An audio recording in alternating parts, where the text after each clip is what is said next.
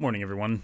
My name is Patrick. I'm going to be doing some work on my VR project uh, called Kilo Hoku. Today, uh, we're adding some educational information for people who are not familiar with um, double hulled Hawaiian sailing canoes. And the scene view that we're looking at right now is the is the exploration scene essentially. It's it's for people who know nothing about uh, Va'a or Hawaiian double-hulled sailing canoes and who want to learn more. So what we're doing or going to be doing today is I have a sheet of paper in front of me. We're going to be adding a whole bunch of colliders to this scene. And then based off of that, we're going to add a bunch of um, we're going to add a bunch of information panels, which basically will display based on what the person's pointing at and then based off of that we will make some changes to the scene. So I was just testing things making sure everything's displaying correctly in my view which it appears to be. We've got some test uh, language there and everything appears to be okay there. So let me just make sure I delete this really quick because we don't need that right now and save my work in progress. So first thing we need to do is answer the question Spy High asked, which is, did you watch the PS5 live stream? And I will be completely honest, I have not watched the entirety of it. Only thing I watched so far is the um, is some of the various game announcements. I haven't actually watched the live stream itself in any way, shape, or form. So let's see. First thing I need to do is I started messing around with this the other day, and I wanted to add a um, bunch of colliders for all of this. And we're going to clean up things a little bit first here because this was just me kind of messing around with this. Um, so what we're going to do first is we're going to add a bunch of game objects for every single one of the colliders that we want to see uh, inside of our game. Oh no, this was kind of cool. I actually got a um, a working sail rigging working because I was just kind of playing around. And uh, if I take this and turn it on, will it show? I don't know if it's going to show. Do I have? I have it disabled entirely. And then we show it, and it looks kind of wonky. But when we play it, uh, if we go to this the scene view, we actually have some realistic looking cloth, which is kind of cool. It actually like flows and stuff. And and looks like actual sailcloth. So how cool is that? Pretty darn cool, I think. It actually ripples. And this was un totally unintentional. I didn't mean to do this. It just kind of happened when I was messing around. And it is clipping through one of the lines there, but it actually will move if I take this this whole object and kind of uh, let's see, rotate it around here a little bit. It'll kind of move around, which I think is pretty cool. It's awesome. I've got real sailcloth action going on if I wanted it. Um, but that's not really what we're here to do today. Um, I just wanted to show that off because I figured it out and I was like, wow, this is awesome. Let's go ahead and turn that other sail back on. I wish there weren't 10 zillion of these things and it's hard to see like the one thing that I want to. There we go. Thank you. Oh, no, that's just a rope. Why was that off? This is what happens when you import models and they are gigantically complex and you're not the person who really intended to do it in the first place. I can't find my sail thing. Hey, how's it going, John? Nice to see you on the chat. Uh, I did watch the Unreal 5 demo in its entirety, and I'm pretty excited for that. I actually started messing around with Unreal 5 a little bit recently. Um, and Spy High can talk to that a teeny bit, but uh, where is the the sail? I like lost it. Let's just Control Z a lot. Hooray! Control Z. Come back. Thank you. That's not the one that I wanted to. Are we all there? Okay, that's disabled. That one's re-enabled. There we go.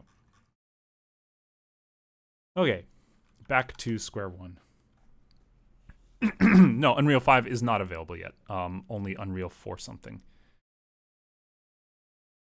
Um, Kari did a bit of texture work. Uh, the sails do have a bit of, of shininess to them already, but other materials on here are more matte.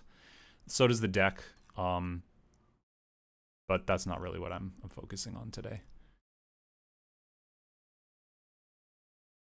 Sort of, sort of Hawaii time zone friendly. They're more like late Hawaii time zone. Okay, so we've got a bunch of colliders we're going to build here, and I've got a list uh, that I'm just going to start building, uh, which is the hulls. Uh, so we've got a hull item, and we want to make sure these are all reset to 000, so I don't have to worry about it. Uh, we've got the... I'm not sure how detailed I'm going to be about this, like if I'm going to do the port hull versus the starboard hull, because they have slightly different names. Then the hall itself has a name. An Unreal team. After work hobbyist tied, yeah, pretty much. and Spy High, if you haven't met John, John is a um, previous coworker of mine. He used to work at the College of Education and now lives on Maui. And I don't remember the exact group that he works with, but he has a lot of experience doing uh, 3D visualization work um, and knows his stuff, so to speak. And is a generally all around kind of cool guy. I haven't talked with him in a while, and I hope he is doing well over there with all the COVID gunk going on. So what we have to do is we're going to start off with our list of colliders, and that means me deciding just how detailed I'm going to be with this. And I think I'm going to just go the full... Hmm. I think I'm going to combine some of these.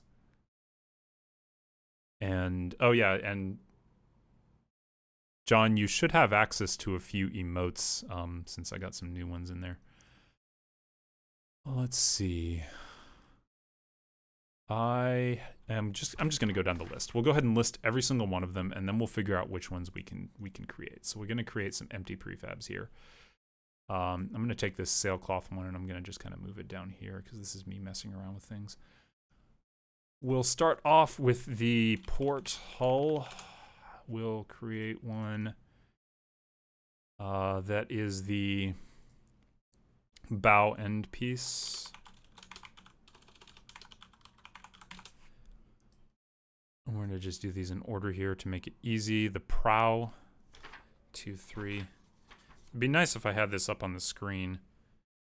Alma, port hull, Manuhue, the bow, Eku, the prow, the Akea, which is the starboard hull. Oh, let's see here. Yeah, port hull, bow, end piece, prow. We'll just do all of these. Uh,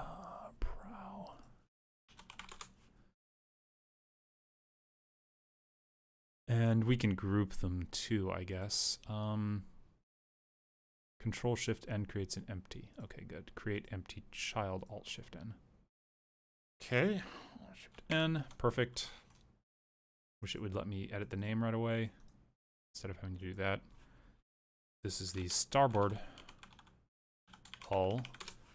And for those of you who do not know your Navy stuff, or your, I shouldn't say Navy, your nautical stuff, Port is left side of the boat facing forward, and starboard is right side of the boat facing forward.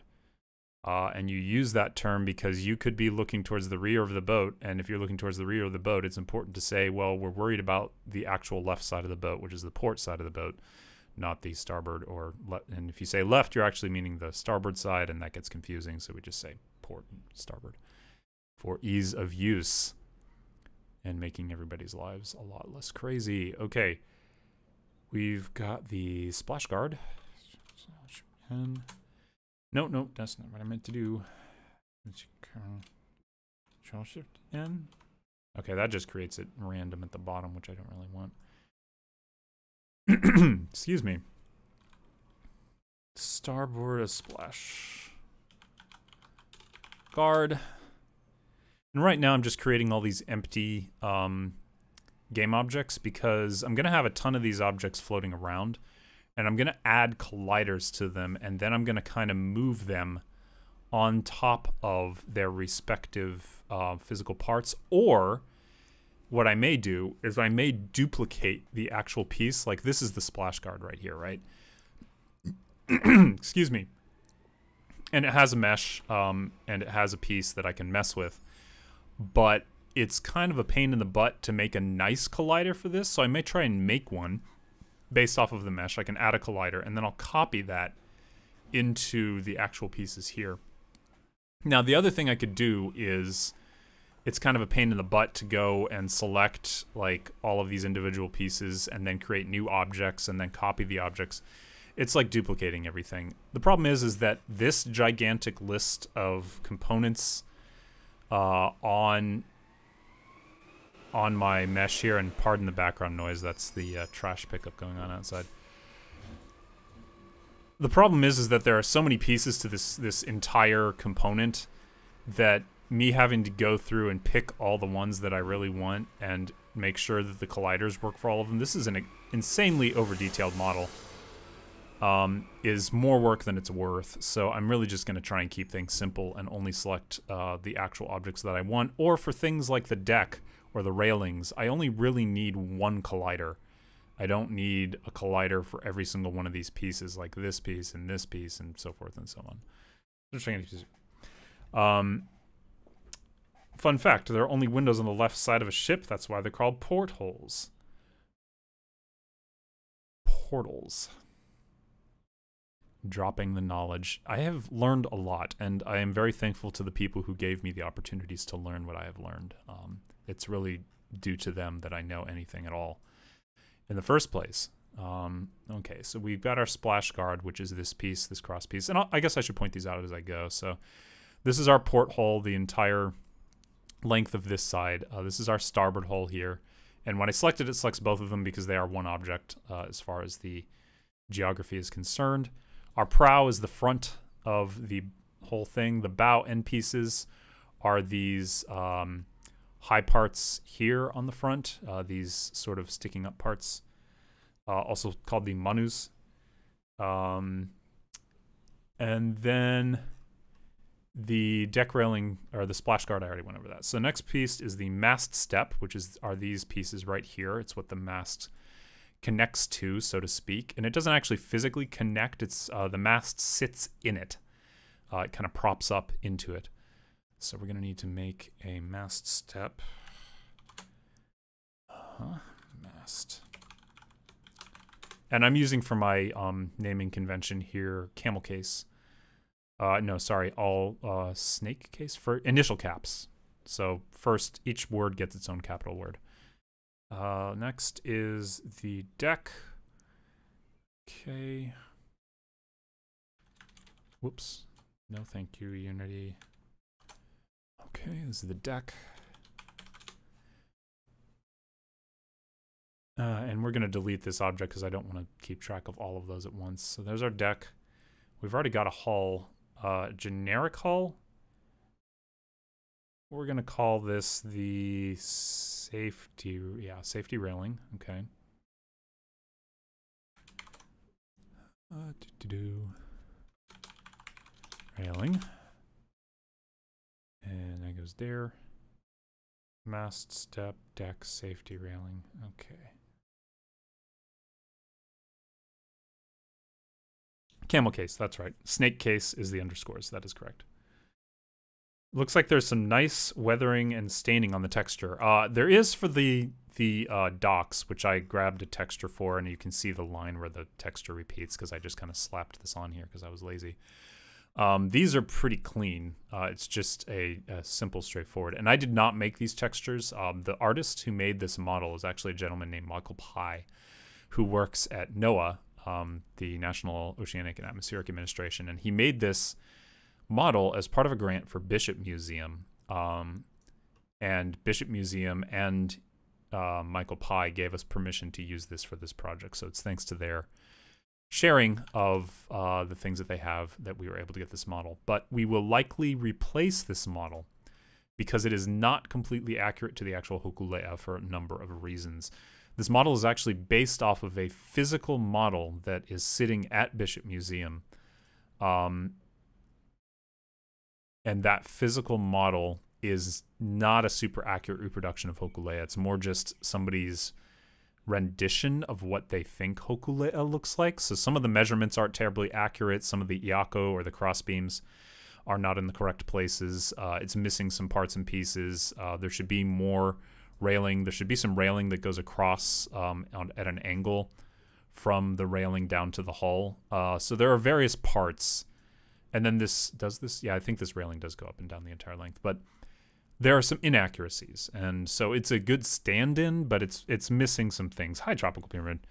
Everybody say hi to Justin, um, Ed White, and my buddy are also here.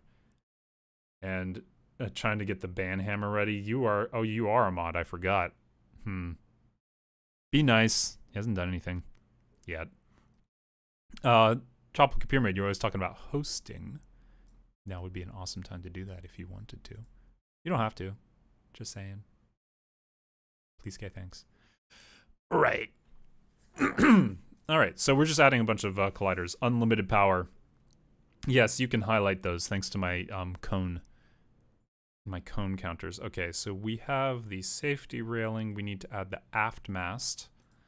So we're going to add the aft. Uh, we'll probably call this mast aft because we're going to have a mast forward.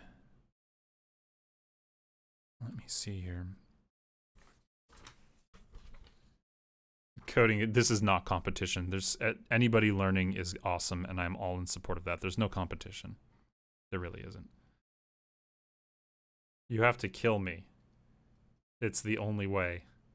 Sir, are we dueling with pistols at dawn or something? Uh, okay, I need to find the mast, foremast, aft mast, and foremast. Okay, so there is a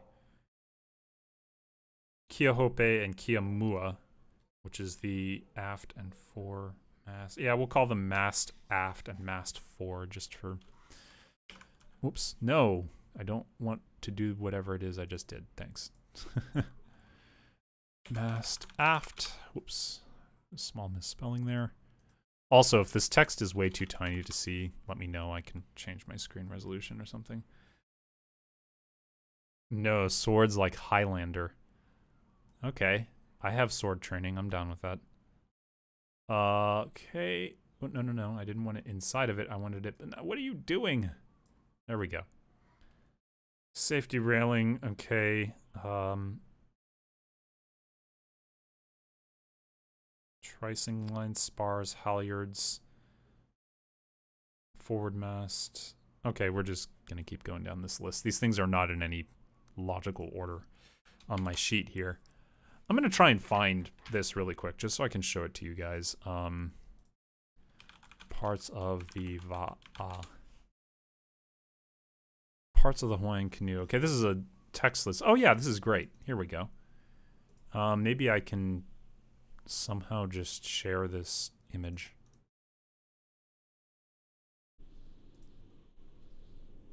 Is there a way for me to put this in a... Oh, I know what I can do. Hold on a sec. Let me download this to my desktop and then we'll open it in a window and then we'll add it to OBS. Like that. Desktop. Hokulea parts. Why? It's so weird. It seems to have disassociated everything. Okay, so we'll go ahead and add this to my scene layout here in OBS really quick. Uh, can I just do an image? Um, okay, this is Va'a parts. And that's fine. And the image file we want to do is on my desktop. Thank you. Open. There we go. You guys should be able to see that in the stream now. And let me just move this to a place where it's kind of out of the way. Um, so this is what I'm working with, essentially, is the parts of the Va'a. Um, so you can kind of see what's going on there. Cool. Thank you for confirming, Spy. So I'm taking all these parts and I'm just kind of listing them out. And I was on the forward sail. That was the last one I did. Uh, mast, aft, forward sail. Okay. Forward sail. Sail, forward. And then after that, let me get something to keep track of where I am on my list. Just like a pencil. So if you put a rebellious teen towards the back of a ship, does that make them aft punk? I'm not going to answer that question. Tricing lines, okay. tricing lines. And the tricing lines are the lines uh, that hold the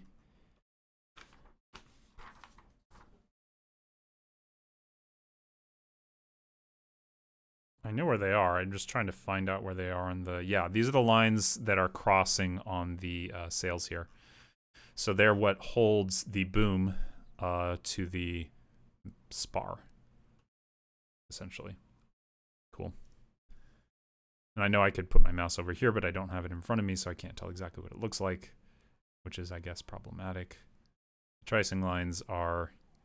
Oh, yeah, they show up on there. Okay, you can see them. Cool. I'll talk about things. By the way, if you're remaking the model, you should ask Jesse about teaching someone on the scene photogrammetry. Can capture the actual Hokulea in 3D. It's not that hard. We have actually discussed doing that multiple times. The difficulty is getting Hokulea when she's not in the water and getting permission to go down there to do it. Getting her when she's out of the water is actually not that difficult. Getting the time and permission to do it is harder. Um, mostly because there's so many people working on the canoe during the day when she is out of the water in dry dock that it is very hard to take photos of the Va'a when nobody is there. And so we have thought of doing that. Um, and we've also thought Kari wants to to make a 3D model. So we've gone back and forth on the options.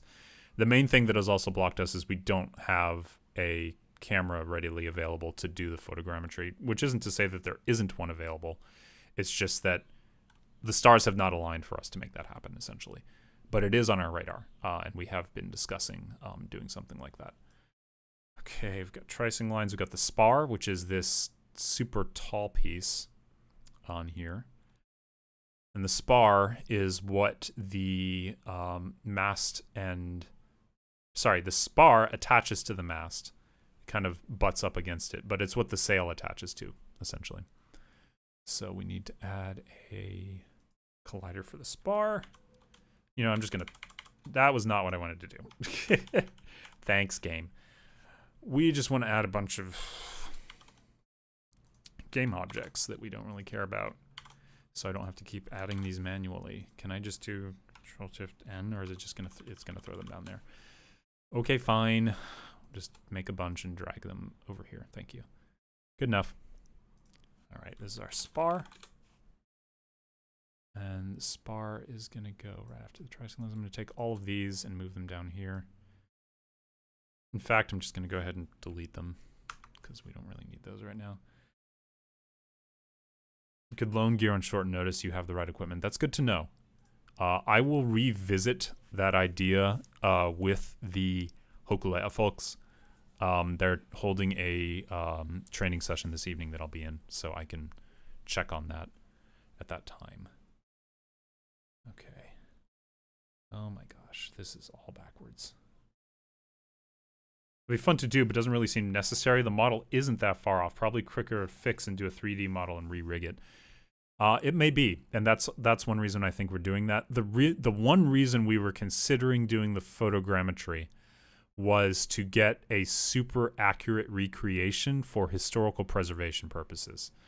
Um, and because the photogrammetry is like super crazy accurate in terms of you create a point cloud and then um, you can use that point cloud to then create a 3D model, but the point cloud can also be used to create a, you know, super realistic VR sort of thing. Anyway, there's a number of different reasons for each one, and both have their places for sure. Um, right now, we're focusing more on the 3D model options. So halyard, um, we're going to call this the uh, horn, which is the top piece that all of the tricing lines go through. And you can see the multiple tricing lines. So the tricing lines, in order to pull the sail up or let it out, uh, a crew down on the bottom essentially takes these lines right here, undoes them, and then either lets out the tricing lines, which go through the pueo at the top, uh, which lets the sail out, or they pull the tricing lines, which brings the sail in. And that's how it works on uh, Hokulea, and sort of how it works on her sister vessel. No, her sister vessel, yeah, it does work that way also on Hikianalia, because her tricing lines are a bit different, though because her tricing lines literally raise and lower the sails because they're on an actual track. Um, so the methodology for doing that is different on the two Va'a, um, but Hokule'a's rig is much more traditionally oriented. We are going to have the mast forward. Cool. Uh, we've got the mast forward. So we've got the stays and shrouds. Uh, yeah, we're just going to call this stays and shrouds. So the stays and the shrouds, uh, the stays are directly forward and aft of the um, of the mast. So the stay will be right here, and it will typically attach straight down forward or straight back rear.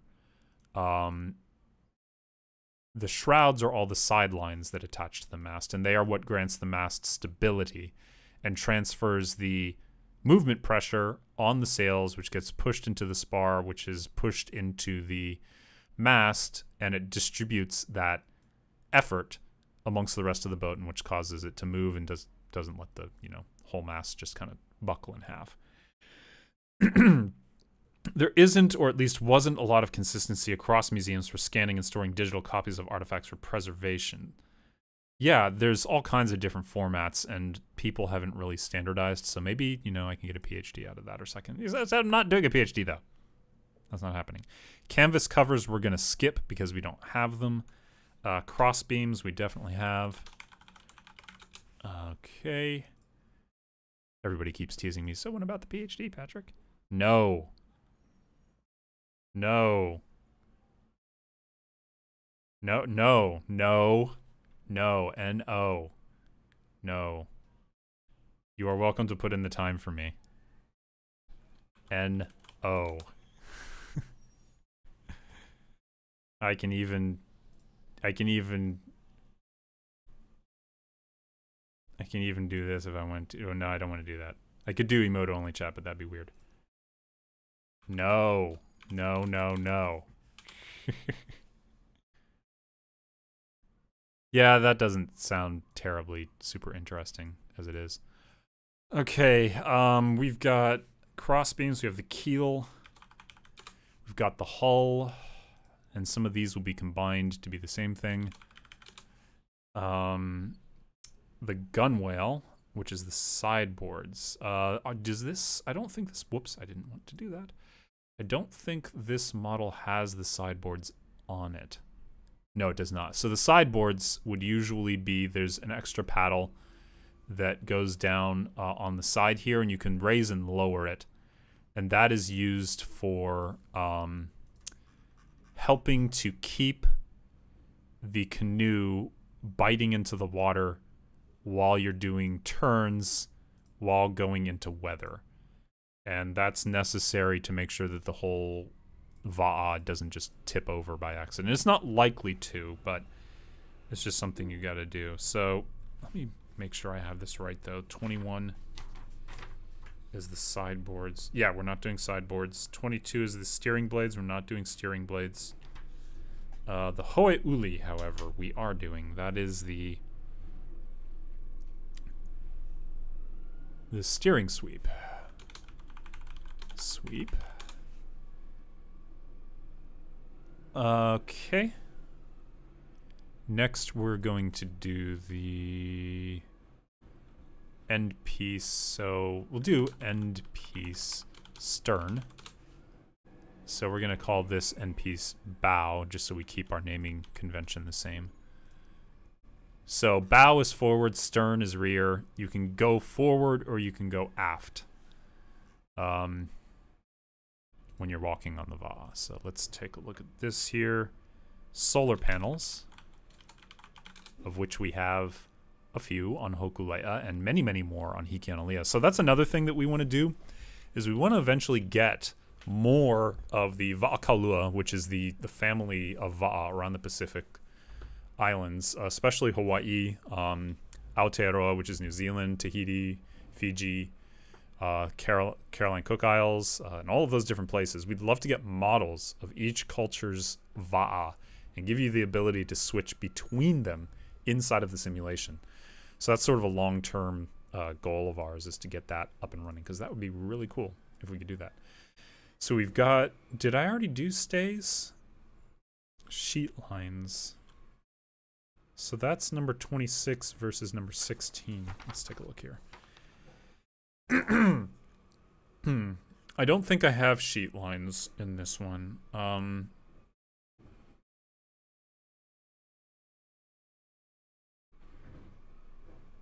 stays and shrouds. So there's no sheet line. The sheet line is a line that would attach to the mast and it helps you to it, it attaches and it kind of goes down and attaches here and then it, you can use it to secure the rotation of the mast because you're not your your sails are not typically going to be straight up and down like this. They're going to be more like they're rotated out to the port or starboard of the Va'a. And the sheet line makes sure that it is held in a particular angle so that while you are traveling it doesn't just flap all over the place and bang into people and you know the boom goes boom and it hurts. But this model does not have sheet lines, so we're going to leave that out. Uh so, boom. We definitely need the boom. Make a few more of these really quick. And bada. Okay. Uh, next up is the navigator's chair, or the Kilo Hoku, which is the name of our project. And that is this uh, outboard spot right here. The navigator stands or sits here, and on, on Hokulea, it's more of an actual chair. Uh, same thing on Hiki Uh, we've got the steering blades, which we're not doing, and then the aft sail. Okay, so we're going to do sail aft. And then I think that's let me just make sure I didn't miss anything. That's number 30 on my sheet, and the numbers don't go any higher.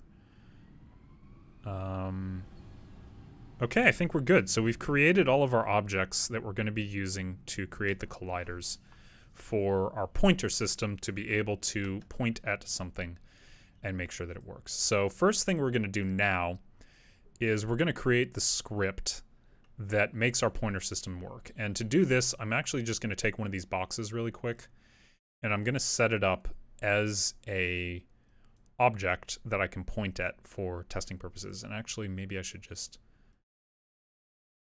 I'm going to rethink that. I'm actually just going to create a cube. Um, we're just going to create a little cube here and we're going to move it into place so that I can easily point at it uh, for testing purposes. And we're just going to make it sit right here. Have a nice little collider for testing. Hooray. Okay, so we've got our cube uh, just kind of floating in space, not really doing anything. Um, and that's that's sufficient for our purposes. If I save this and I hit play, our cube should be right in front of me in the VR system, which it is, which is great.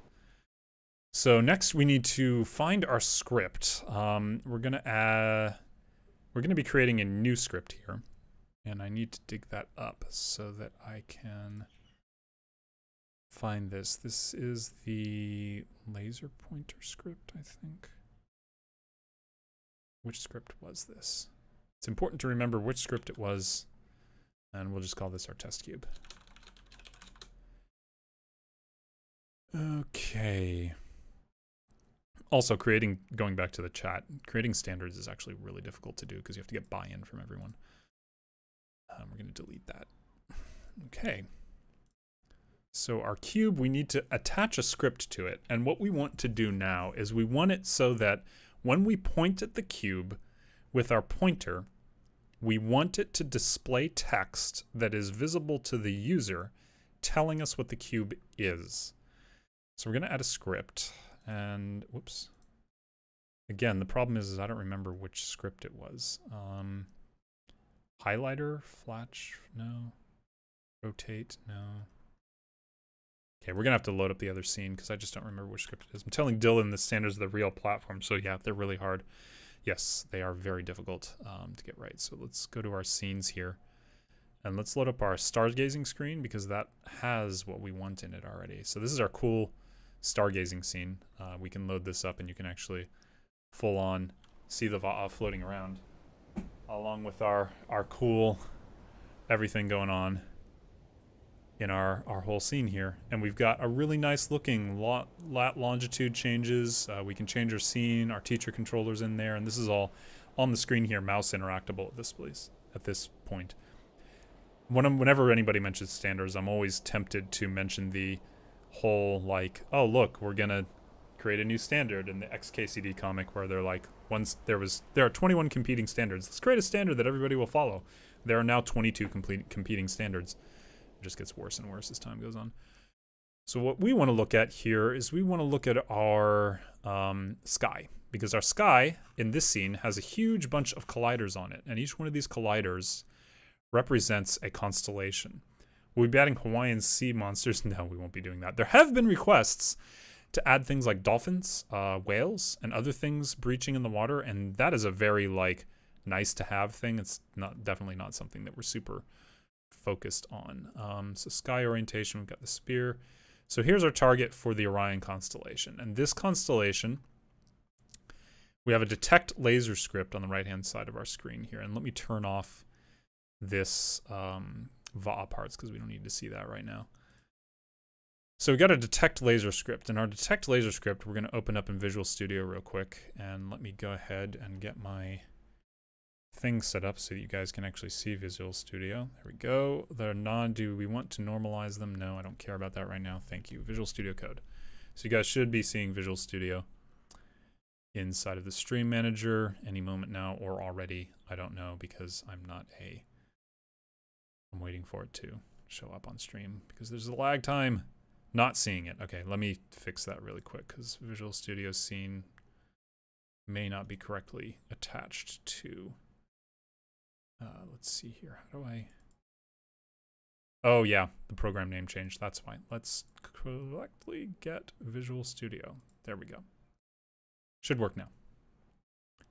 And let's take this uh, text size and let's zoom it in. Cool. Uh, do, do, do, do, do. Where is my zoom? Window? Tools? You can tell I use VS Code a ton are you still here, Justin? What's the control for... There we I figured it out. Never mind. Okay. So what we have inside of our script is a number of things, and um, some of this is is just Unity stuff that I've done to make life easier. We've namespaced this whole thing to VRTK. VRTK is our tool for um, interaction. It's it's a freely available library online that allows us to essentially uh, do interactions in VR without having to code them all ourselves. So what we've got is we've got a highlight texture, we've got a default texture, we've got the game object we're, we're changing the texture on, we've got a name of the thing in Hawaiian, we've got the name of the thing in English, and we've got the info box where we're going to be putting the info. So what happens is, is when we start interacting with the object using our pointer, we swap out the texture and we set the name to the English and the whole thing, and we start using the object. When we're done using the object, we remove the texture and we remove the text from our thing, and then we basically do an update. So we're going to copy this entire script and alter it slightly because we're not going to be doing a few things um, that this object or that this script wants us to. So let's go back to Unity really quick. And we're going to hop back to our other scene, to the Docked Explore scene here and we're going to focus on our actual canoe. And on our canoe, we have our uh, learning colliders, and we're going to do the test cube collider. We're going to add a new script to this. So scripts, we're going to, how do I create a new script? Oh, we have to add a component. New script. And we're going to call this script, um, let's see, I think we called the other one laser Detect laser. Okay, we're going to call this one uh, detect. New script, please. Come on. Detect laser learning. Create an ad. Okay, so back in. Oh gosh, I don't care about line endings. Thank you. Back in Visual Studio Code. Uh, it didn't actually open the thing. We do want to open it though, please. Okay, cool. So we've got our brand new thing here. I know a guy who works in recruiting at Unity. If that information is heavily useful, thank you. Um, it may be. We'll see. Working in Unity is doing a lot of different things versus um, creating things with Unity. So it's a slightly different shindig. Uh, we're going to move our script that just got created into our scripts folder for simplicity of organization. And then we're going to go back to our script. Fine, just do it. I don't know. Stop it. Okay. Detect laser. Yes. Uh, we just wanted to open that, please. There we go. Okay, so we're gonna go ahead and paste our entire thing in here so that we can save ourselves some headache. Um, we're getting rid of the D, we're gonna comment out the default and highlight textures um, because we don't need those. Um, and we're not changing the texture on any object. Um, what we are gonna do is we want the, um, we're gonna change this uh, to be our uh, let's see, learning object settings. We're going to change the tooltip here. And I'm very, a lot of people don't spend the time to, um, they don't spend the time to make nice tooltips for their tooling so that other programmers have the time to do this. And I think that that's one thing that some newer, and I, sh I should say newer, um, programmers tend not to do, but spending the couple seconds that it takes to add these tooltips and things so that when you're doing it in Unity, it makes life a lot easier. Um, okay, Hawaiian. So we're not going to be, so this is the Hawaiian name for the part of the Va'a. We're going to call this uh, Hawaiian. What do we want to call our, our canoe parts? We want to call them we could just call them canoe parts. We could call them, yeah, canoe parts. Okay, and then the English name for the part of the Va'a. We'll call this en canoe part.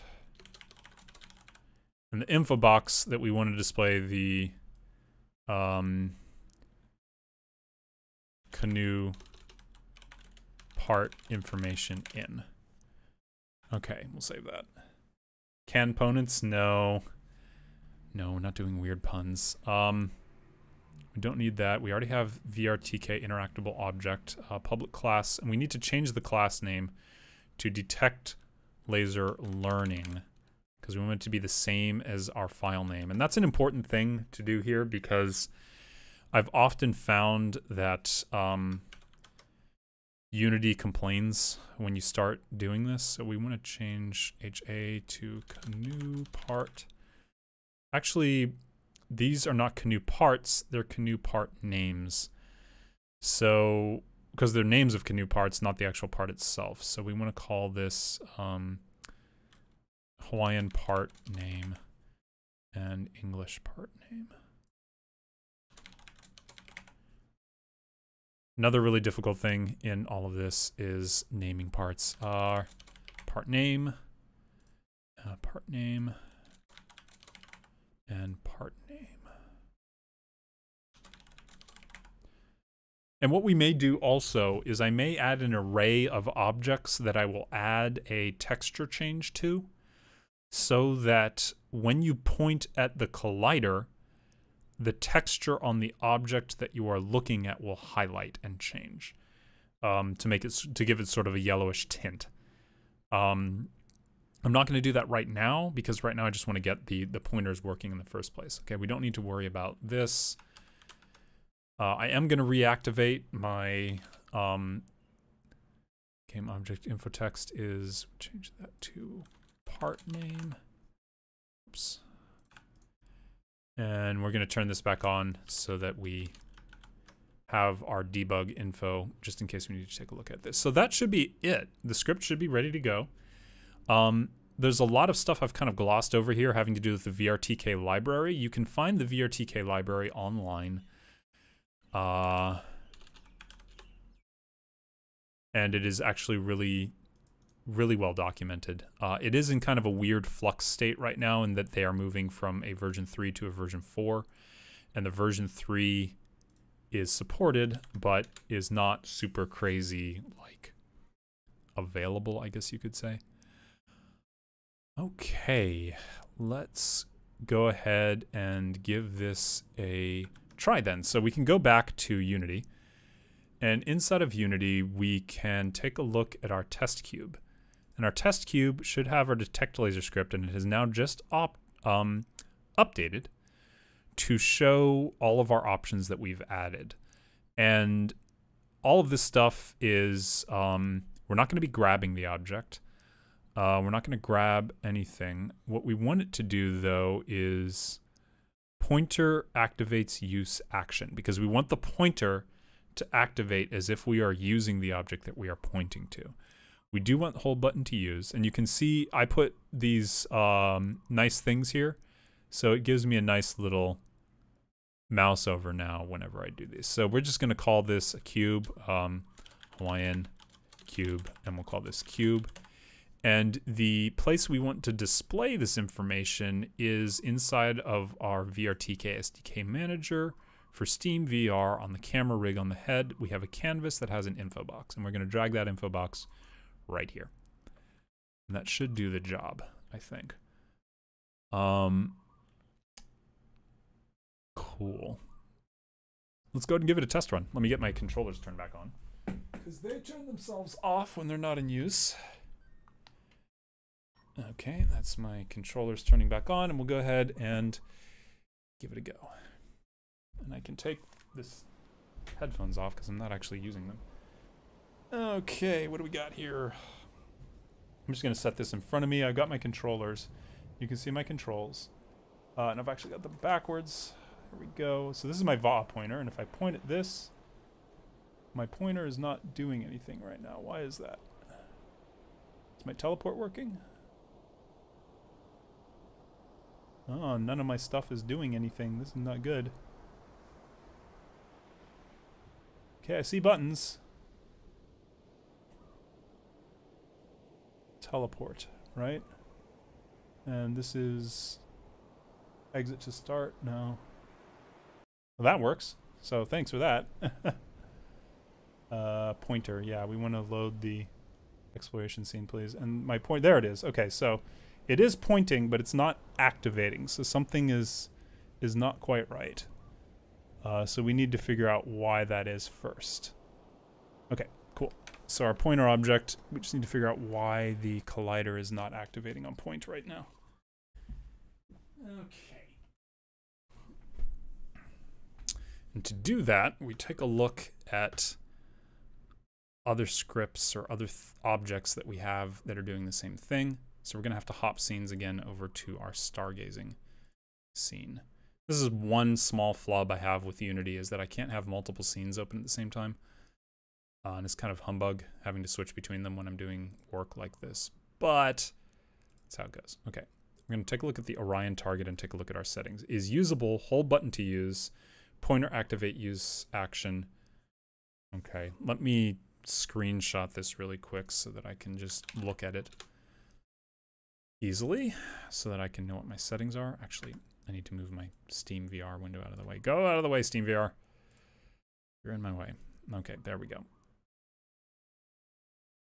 Okay, now I have something to refer to. So we'll save this. Settings.png. Cool. And okay, we don't need a lot of that. Was it showing me any console messages?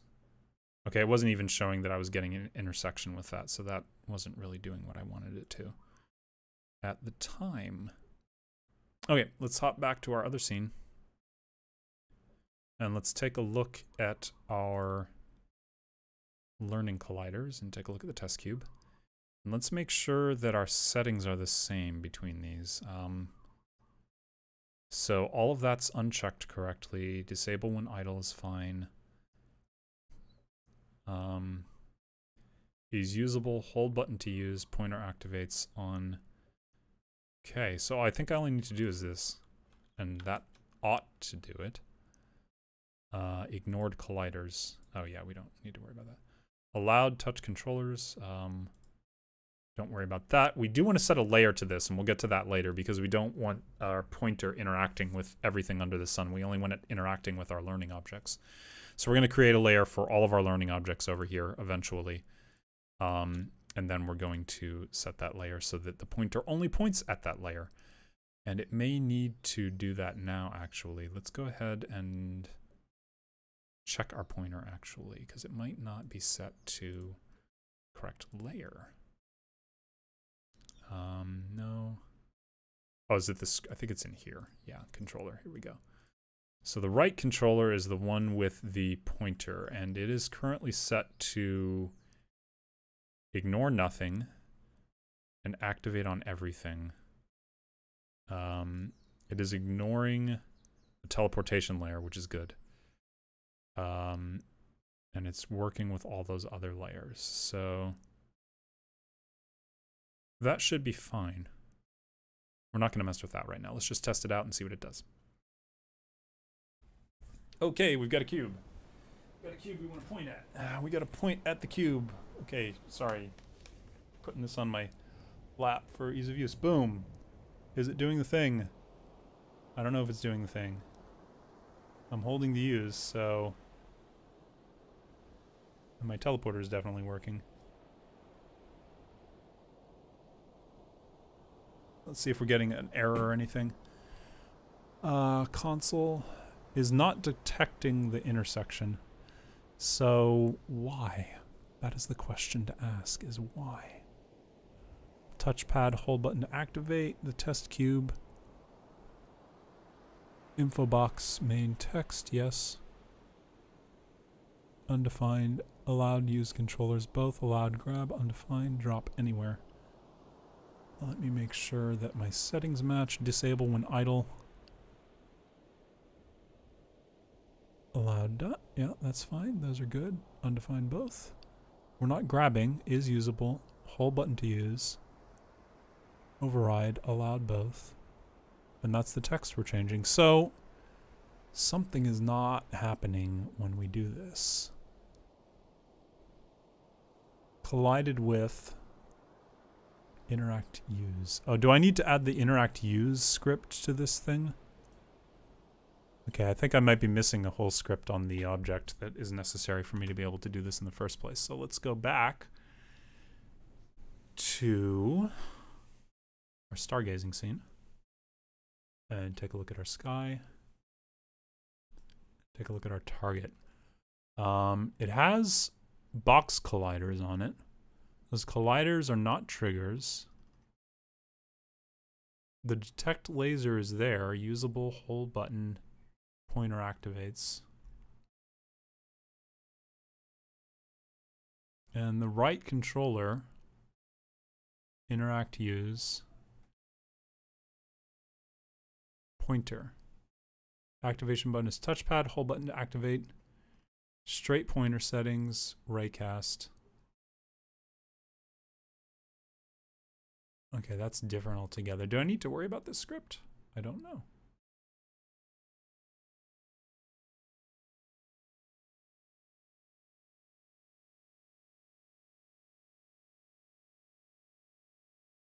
Button pressed, do grip, do button 2, do button 2.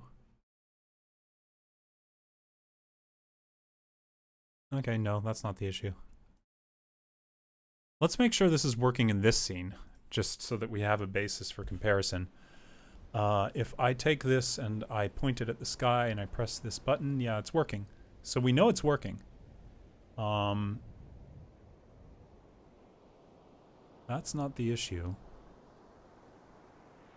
Definitely, and we can do this and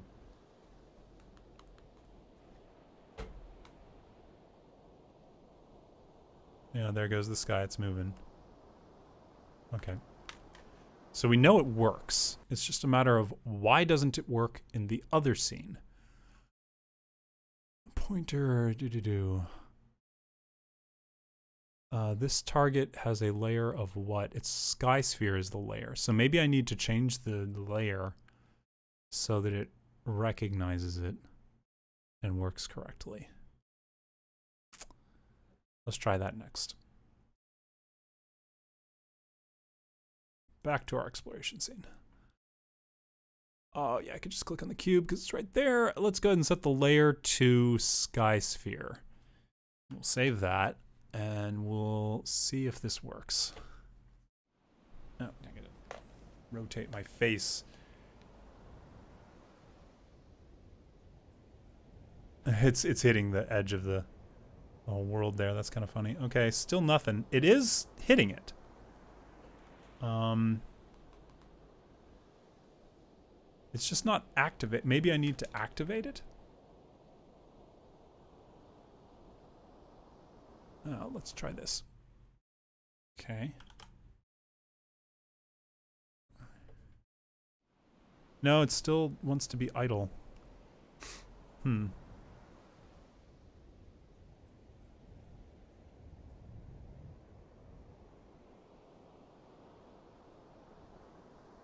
I don't know what it's colliding with over there either, because it is hitting something. Like right there, which is kind of weird. Yeah, we, we have we have an object and we're pointing to it. Uh, let's take a look at our scene and make sure that the text, maybe the text is changing and I'm just not seeing it or something.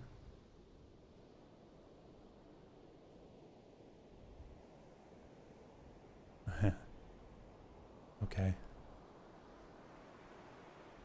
I'm definitely colliding with it at some point in time, but I don't see any text change occurring.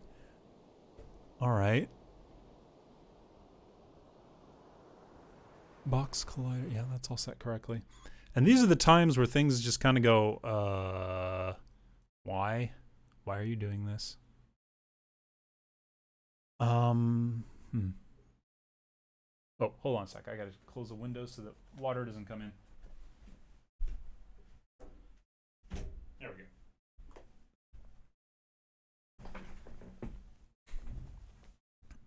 So we have a very basic object, and this basic object, let's go ahead and parent it all the way out of everything so that it's not like, just in case it's inheriting something that we didn't want. Um, let's take a look at our scripts and the right-hand controller. And it's got a pointer. Um, it's using the straight pointer renderer. Hold the button to activate. Interact with objects. Pointer interact. Is that it? That might be it. If this is, okay, let's see what this is. If this is checked, then the pointer will be an extension of the control and able to interact with interactable objects. I think that might be it. Let's give it another go. This is why tooltips are useful and why you should use them. Boom! There we go. Our object, our, our pointer just didn't know. So now just like that, we have an object that we can point at and it displays information to our viewer so that they can learn about the object that's being pointed at in context and go, oh, hey, this is a cube. It's also a Hawaiian cube. And we can use this um, to help purportedly, and I say this specifically, and John will definitely call me out on this, to purportedly help with knowledge, learning, and retention. And John's the one who's working on his PhD in um, educational tech. He's definitely got a better feel for this than I do, and can can talk more about the literature. Um, so that's now that we've got our basic working thing, which is really cool. We want to add this to a bunch of colliders that we have uh, in our scene, so that we can then point at the various different parts of our canoe and based on that, uh, we can then essentially begin to be awesome. And I think I know what it's hitting. I think I had set up. What what is the collider that it's that it's bumping into? What is in my scene that it's that it wants to hit? That's what's got me confused. Like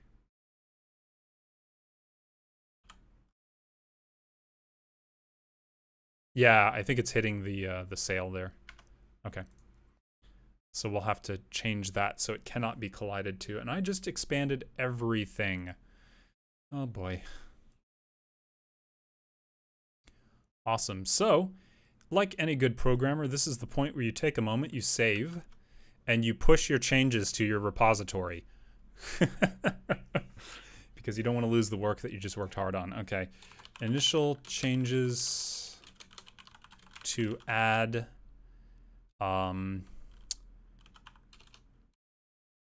objects for learning colliders as well as setting up script for um, collision detection. Okay, and when we publish those changes. Now, Unity added this a little while ago, and it's a really nice tool called Collaborate. It's free to everybody. Yeah, in case of fire, commit, push, then leave. Um, and ideally, your tooling is already set up to just commit, push. Like, and, and yes, there are dangers in just doing that, but that's why you don't work on the main branch. You do your work on a separate branch. Oh, man.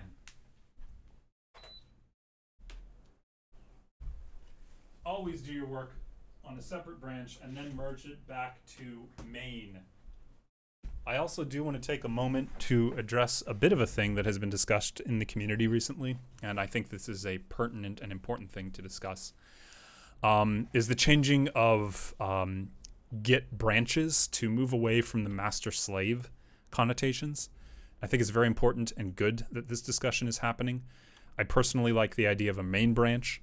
I also like the idea of a um, default, although default has some other odd connotations with it. Um, GitLab has a really interesting discussion going on around that, and I highly encourage you to look them up and take a look at that discussion. I know I saw it on Twitter at one point in time. Okay, so we've got that done. Um, so we've got the basis for our work. Next, what we want to do is we want to start building out the colliders uh, for each one of our learning things here. And we're going to do this in kind of a interesting way. Actually, before I even do that, um, let's go ahead and create our, uh, we're going to change this to test learning cube. Cool. We're going to create a new layer. Um, EQ, oh yeah, we're going to call this uh, layer learning pointer. And we'll save that. And we're going to change it so that our test learning cube is part of the learning pointer layer. And the next thing we're going to do, so layers are specifically in there so that we are able to dictate easily what things get interacted with when we perform a specific action with colliders. Otherwise, we would have like um, oddity with teleportations hitting all of our weird colliders that we're building, and then our pointers hitting all of our teleportation colliders, and it just becomes a mess. So we want to avoid that. Uh, that's why we work with layers. And we want to go back to our controller. We want to make it so that our pointer will only interact with the learning pointer layer. So we're going to ignore Oops, hold on a second. There's a got to be an easier way to do this. We're going to ignore every single layer. Actually, we want to keep the markers. That's one layer we want to keep. Uh, we're going to ignore every single layer except for the marker and the learning pointer layers. No, that's not. Oh, that's not what I meant to do. I just uncheck. No, uncheck that, please. Oh, God. Okay, there. Cool. We've ignored everything except for marker and learning pointer. So ideally now our pointer should only interact with those things that are the markers, and these are the railing markers right here. Um, and these are used by the sailor or by the navigator. If the navigator is standing where I have my camera right now, and they look, whoops, hold on, which one's my rotate uh, view? No, that's zoom. I want to rotate around. it's, it's rotating around the object is why. So if I'm standing here and I look to the starboard side of the canoe, the markers are each, if I'm looking directly across, and imagine there's like a pole or a flag here. Each one of these markers is 11.25 degrees apart, and they each indicate a house on the uh, star compass. So if I look across, I get the exact measurements of my houses. And we have this here as a learning tool so that people can experiment with it and know how the houses work. So cool. Another thing I wanted to point out real quick is we created a very basic object for testing out our functionality. And it is a good idea to do this instead of taking a bunch of time, rigging up all the cool stuff, making it look amazing. and then falling flat when none of it works, it's very important to test the things you want to do first, then go back and actually um, mess around with it. I see you have a master's degree. No, I totally don't have a master's degree at all. I swear. Tee. Okay, I'm going to take five here real quick to go get some water, and I will be right back, and we'll continue on with adding our colliders and getting everything displaying and then making it so the text um, that we do display, because right now it shows up right in the middle of the screen, we're going to move that to the side so that it's still readable, but not in the way of us being able to see what it is that we're doing. So I will be right back in a little bit. Come on. Okay, there we go. Be right back. Okay, I believe we're back. Let me just make sure I turn off my secondary mic because we don't need to be listening to that at the moment. Okie dokie. One thing I do whenever I take a break is I do some pull ups, so I'm a little short of breath at the moment because of that. All right. So now what we're going to do is we're going to start adding the colliders for all of our various um, parts that we're working on. And apologize, I just have to write a quick email.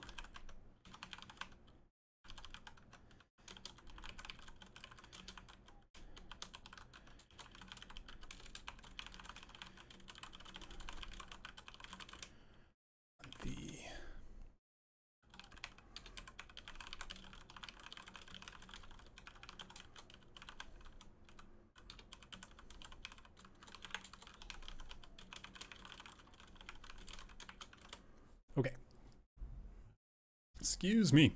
All right. Also catching up with various other things.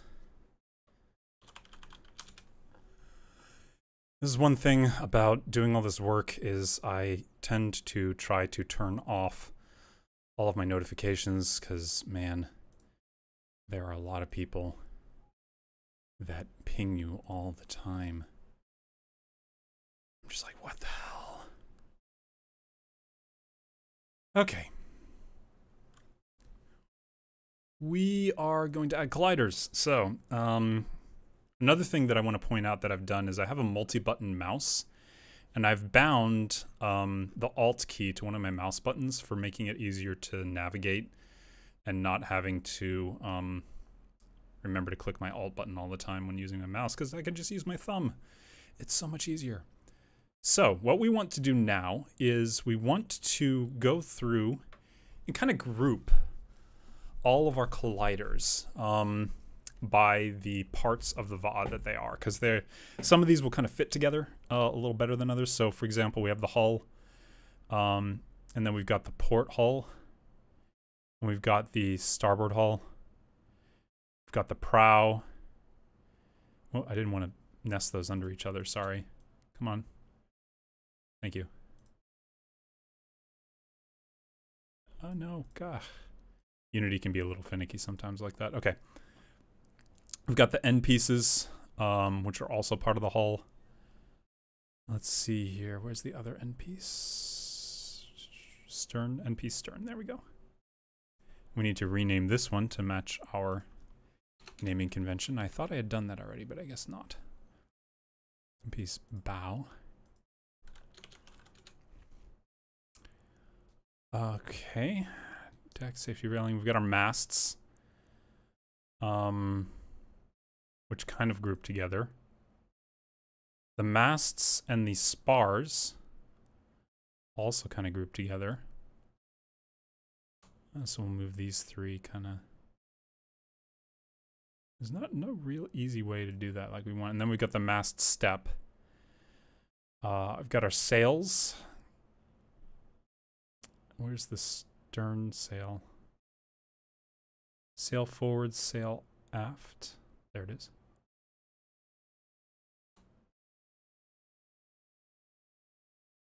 So these these aren't specifically being grouped for any real reason other than um, sort of mental organization and making it easier to look at. Um, let's see here. Hull, sails, spar, mast, deck railing. We've got lines. There's a lot of lines. The horn is part of the spar, so we want to, part of the mast, so we want to do that. Whoops. Okay, cool. Deck, safety railing, tricing lines, halyards, stage shrouds, cross beams. The keel is part of the hull. Boom, navigator's chair, steering sweep, solar panels. Boom is part of the mast and other stuff. Uh, deck, safety, lines. I want to put all the lines together. Okay, that looks good to me. And we're actually going to take all of these and just scoot them back out because we don't want them underneath right now. Okay. So now we need to start adding colliders. And we can add colliders directly to our objects. We're going to choose a really simple one. We're going to do the splash guard to start. Um, the splash guard is, like I said, this piece up here. And what it does is it keeps water that's hitting the front of the Va'a waves or other things like that from splashing over into the hulls. Um, keeps a lot of water out. So we want our splash guard object, which we're going to focus on here. And it's kind of an invisible object right now. Um, we're going to move it over here to where our splash guard is. And we just get this, whoops. Sometimes one problem with doing that is that you can't get it super nice. Okay. Uh, is it good enough? You know what? I'm just going to perspective this. It'll be easier. Okay, cool. And we'll bring it up a ways since it's not um, like that. So we'll just put that there to make it easier to keep track of where it is relative to the actual object that we're editing. Next thing we're going to do is we're going to add a collider. Now, I can do this a couple different ways. I'm going to do it one way first, and I'm going to experiment with it. Then we're going to do it a second way, which is using the actual object itself and seeing if we can't get it to inherit somehow uh, and take the collider from that other object and use it. Um, so let's go ahead and add a collider. We're going to do physics, and we're going to add a mesh collider. And let's see if we can't steal the mesh from something else. Because look at this, we've got a whole list of meshes here, right? So ideally, I can just take this object, whoops, hold on. Well, let's go ahead and highlight it so I know what it is. It's p cube 7, whatever that means. And so we're going to go ahead and choose our splash guard. We're going to go here, and we're going to go p cube 7 and there are any number of things that look like p cube 7. I don't think that's the one we wanted. Are there multiple p cube 7? Oh, no, no, no. No, that looks right. Okay, cool. So p cube 7, uh, we want to try and attach that to our splash guard. Right. p cube 7. I think this is it. There's two of these. One of them is the hull collider, which is not what we want.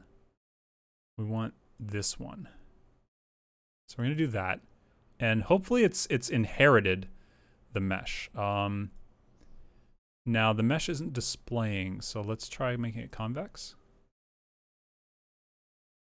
Okay, that's a little odd and not really what I wanted to do.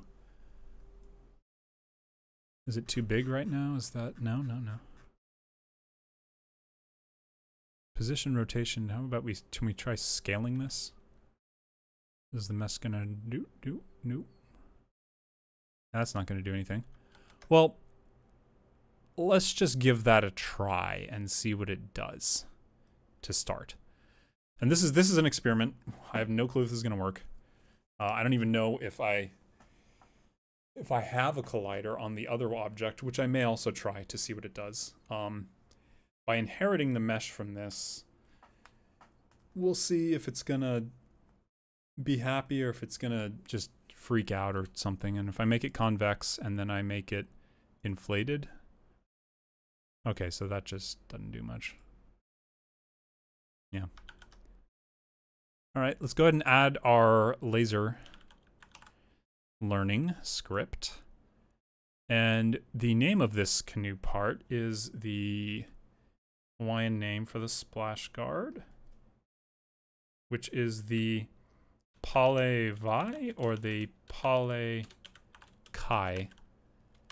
And then the English name is just splash guard. And we should probably go with uppercase text. Kai or Polyvi Kai. Then we need to add our info box, which should be this one, I think. I actually don't know. We're going to hunt it down really quick, though. Info box main. And just drag it right in there, and it should be good. Okay, cool. So let's give this a test run and see how bad it is. Exactly, it's a master mystery, I know, because I have a master's degree. Or do I? Are you almost done with your PhD, John? I feel like you're like on that last. You're like in the last lap or something at this point, or you have to be, is what I feel. All right. Um, I probably chose the wrong object to do this with because it's way over there, but we're going to give it a test run anyway and see how it goes. All right. Okay, so we need to go over here. So we're going to teleport over there really quick to make it easier. And we're going to point at this thing, and it is not hitting. So the collider isn't really working. Let's see what happens if I make the collider convex. I don't know if that's going to do anything. Uh, it's still not hitting. Oh, I didn't set up the rest of the script correctly. Um, this is usable. Pointer activates. Use only if grabbed. Do not hold. Do not do anything else with it. Okay, let's try now. Okay, I'm probably going to have to restart the thing because we didn't set it up correctly the first time. Oh. Oh, I also didn't set the layer. That would be important too. See, these are all things that are important to remember to do. I'm ABD. The last hurdle's been tough due to life events. Making progress go. Awesome, man. Definitely gonna raise a glass to you once you hit that, because that's gonna be awesome. All right. Um, splash guard. So we want is usable, hold button, pointer activates. So is usable, hold, pointer activates. Uh, wait, wait, wait. Did I get that wrong? Hold only if grabbed. Oh, got it. Okay. Swap those two. Uncheck those. Save. And we're going to go and make that convex just for testing and see what it does. If it doesn't work, it doesn't work. It is really weird how it chose to... It, it blows it way up is the problem I have with it. Like, there, the mesh is very simple. It's just a bunch of very straightforward small triangles. But it's just acting strange. Okay, let's try it. I point at you. Hey, it's working. We don't have any text, but it is working, or it's colliding.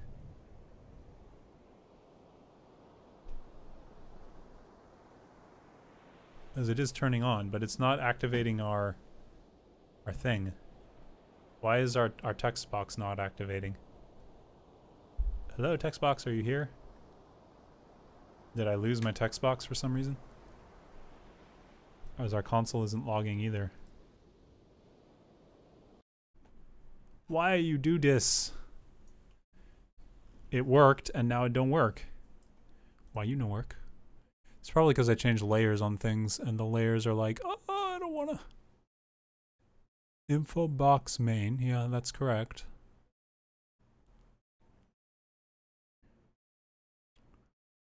Okay.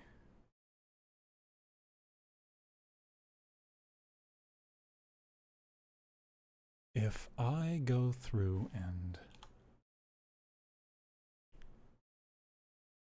remove this from being a sub object and then save, what you gonna do?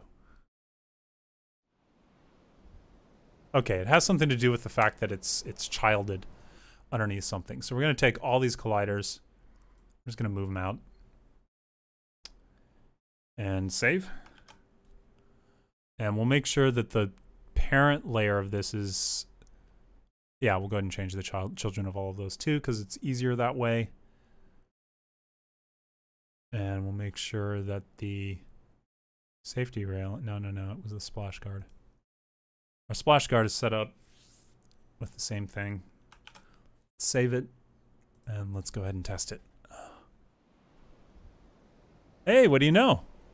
So, we've now got our first object, actually part of the canoe, that somebody can point at and be like, hey, that's the splash guard.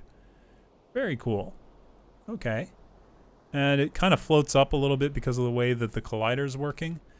Let's try turning off the convex mesh, whoops, the convex tooling for that. Uh, oh, whoa. That's very strange. Let's re-add the collider. that happens sometimes. You do one thing and then it keeps stepping on it. Uh, physics, yes. Mesh collider, yes. Uh, let's move this up here, please. Thank you. And let's re-add the mesh, which is p cube 7. Which is that one right there. And it really does want to be that huge now. Okay. Why is it making it so big? I wonder if that's the base, like, object, and then it's decided to scale?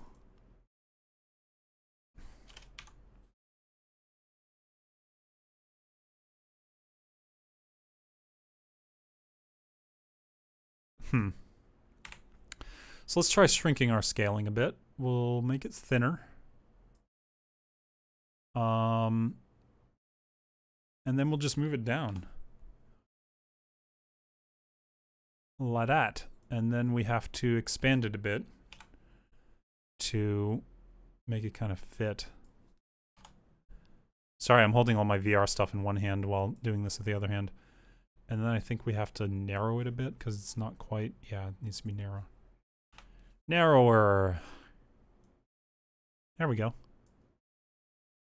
That's, needs to be a little wider.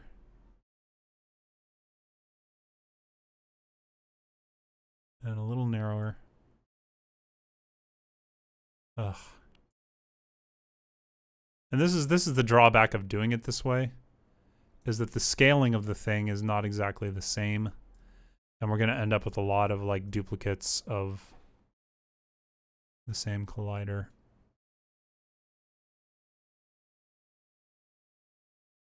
Ugh.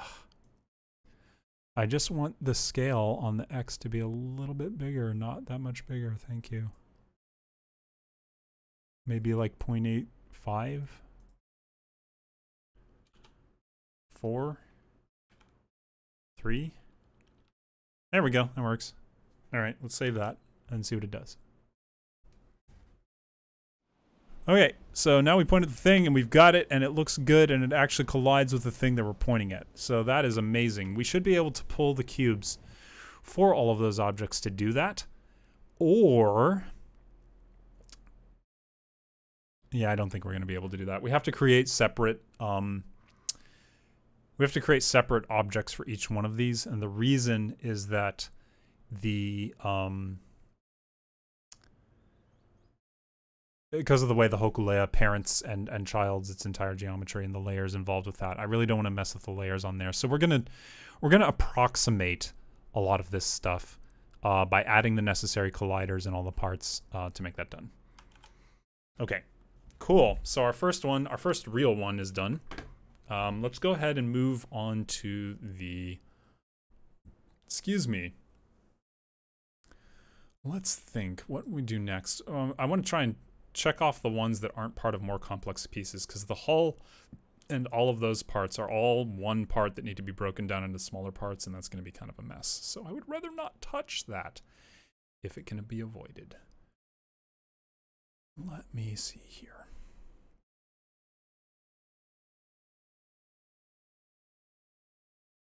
Next, let's do the spars, because the spars are very easy to add. There are two of them.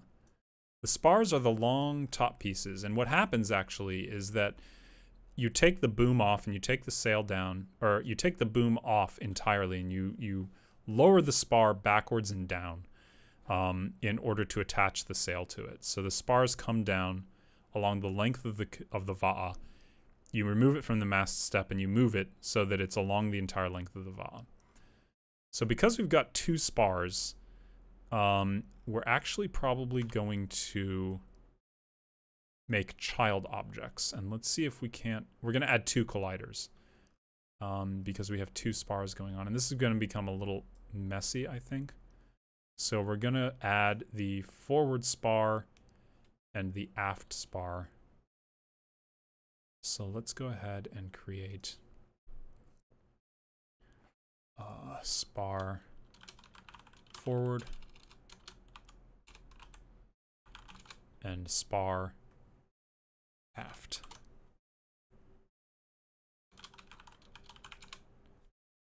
And we're going to use these objects. Um, I don't know if you can parent, like, I don't know. We'll find out.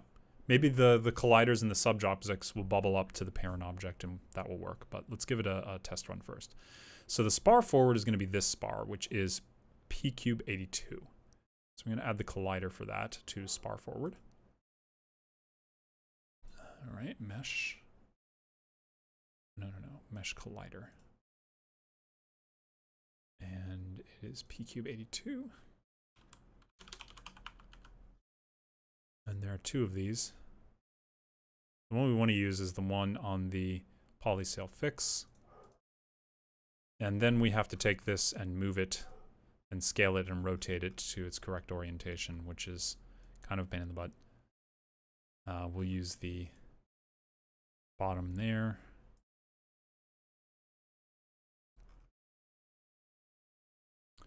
We're going to use ortho perspectives here. Boom. Because this is just going to be easier. All right, scale it in. and scale it in.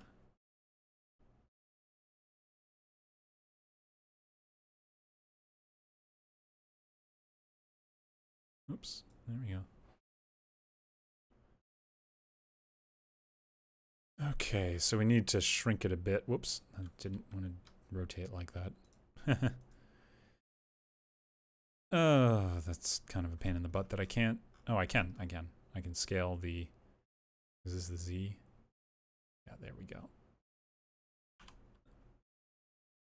And we just want to move it over just a tad. Okay, cool. And then we'll zoom in on this. That looks pretty good, in my opinion. So we're not going to mess with that. Uh, awesome. So now we have to rotate the whole thing so that it tilts. There we go. I'm going to rotate it like that. And then just move it over. A little bit off. I think that's it. Oh, okay, now we just have to stretch it out in the vertical direction a little bit. So we're going to just go up a teeny bit. And then move it up a bit.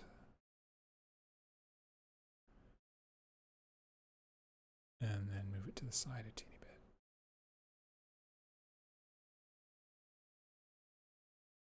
Looks good to me. All right, let's uh, call that saved and change back to our orthographic projection. And yeah, that looks pretty good. And I don't mind if it's a little bigger than the object because mainly when you're interacting with things in VR, um, small targets are hard to hit, especially at a distance. So we want to make sure that the objects that we're interacting with are a bit bigger than the object um, or than the thing we're actually pointing to. So let's go ahead and add our script. Now it's this is the detect laser learning script. We need to set up this, this, this, and this. Turn off these and then add the part name. And the part name of this in Hawaiian, I believe, the spar. This is helping me too because I need to be memorizing all of these. Is the Opea, and I need to turn on my Hawaiian language keyboard to type this because this is in okay. Oh, whoops. Oh, it doesn't recognize Unicode. Great. All right, we're gonna have to make do with what we have. Oh. Can I at least type the... No, it doesn't even want to let me use the... Can I copy paste it? Let's try that. We'll compose an email and we'll type it in there. Ope... Copy it.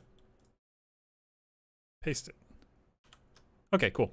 We just can't type it directly in Unity because it's weird like that. And that is the spar. Cool. Save that. And turn our Hawaiian language keyboard back off just because we don't want to be typing in Hawaiian by accident. And let's give it a test run and make sure that it's pointable and visible.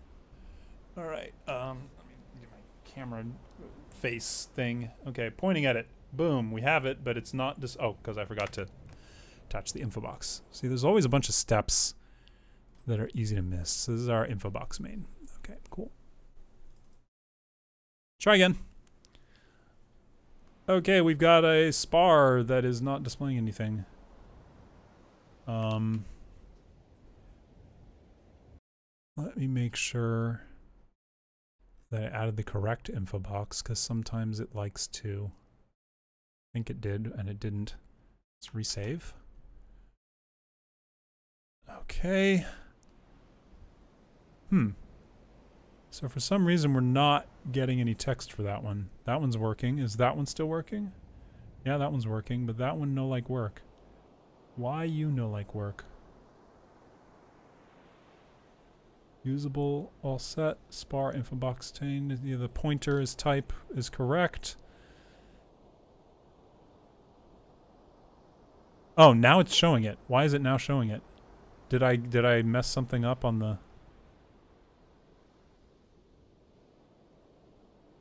Oh, I know what I did. I got these two backwards. That should work now. I swear, one of these days I'm going to get right the first time. I really am. There we go. Okay, so we've got one spar good. Okay, let's move on to the next one. Okay. So that's our forward spar. This is our aft spar. So we're going to add the same mesh component, uh, which is p cube 82. And is our spar. And we're to have to scale it the same way. So let's go ahead and go to orthographic. And, no, hold on. There we go. I'm to move it closer to where our actual thing is and scale it down.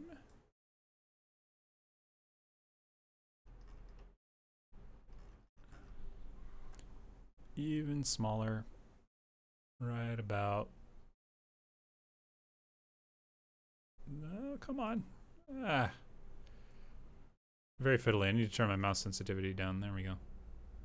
Way down mouse sensitivity. Okay, cool. And let's go ahead and take a look from the front. Gonna definitely have to narrow that. And I think that is my X axis. Okay, we're good there. That looks great. And next we need to shorten it a tad and then bring it down. Just a little bit more.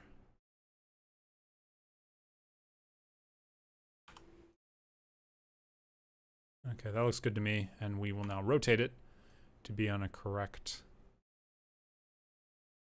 sort of axis and just slide it into place. Okay, that's just a little off.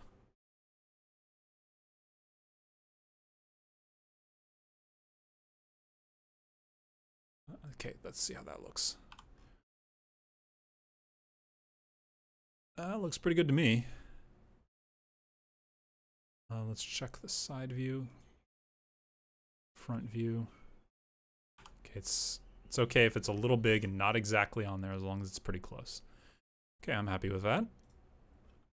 We'll save that and we'll go back to our projective view. We'll add our script. Detect laser learning is usable. This one, same thing. We need to copy the text from our other one. So we're just going to copy here. And whoops. Spar aft. There we go. And this is the spar, and the text info box needs to come from this guy right here.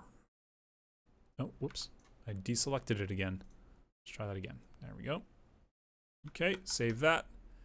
Okay, and we need to turn these two off because we don't care.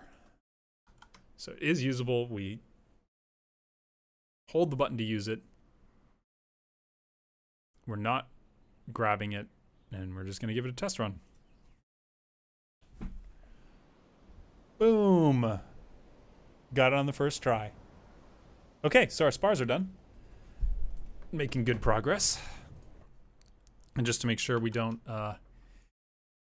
Okay, so the question now is if I remove the script from these two and I add the script to this object, will it work? Or do I have to drop each of the colliders that I want in? That's a good question to ask. So let's try this. We're going to, because these are really easy to re-add, we're going to copy this so we don't lose the text. And we're going to remove uh, the scripts from both of these components. And we're going to try adding the script to the parent component. Uncheck these. Usable and grab our info box there and save. Let's see what happens. I just want to, I'm just curious if this is going to work or not. Okay, so it does hit, but it's not activating the collider like I want it to. So there is still a thing that needs to happen because it is it is activating. Oh, or maybe I forgot to No, it's detecting.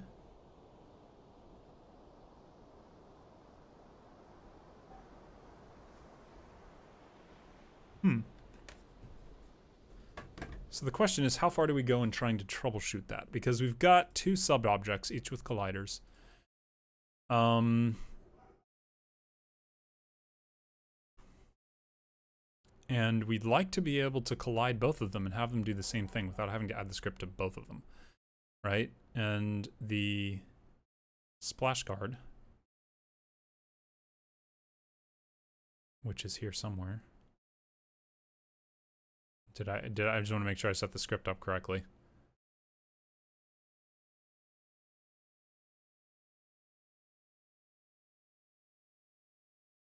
Yeah, that looks, that looks correct. So it probably wants to know if we go over to, um, Visual Studio. Take a look here. Uh, game object name info text is this. Using object.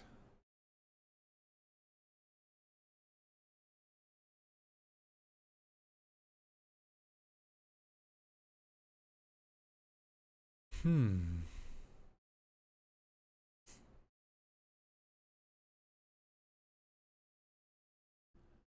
The question then becomes what exactly are we trying to do? We are trying to make it so that. Oh, time to do some Googling. Okay, thanks for stopping by, John. Good to see you. We should catch up another time soon.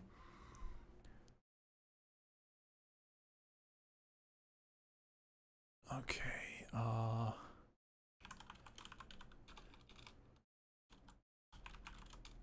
So Unity 3D, activate script on parent object for um, child collider.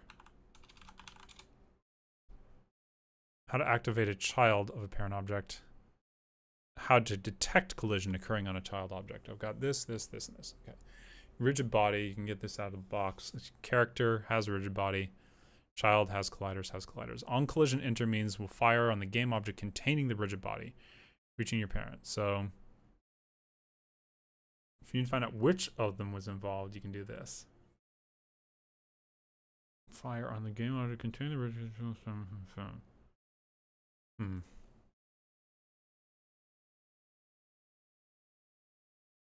Maybe there is a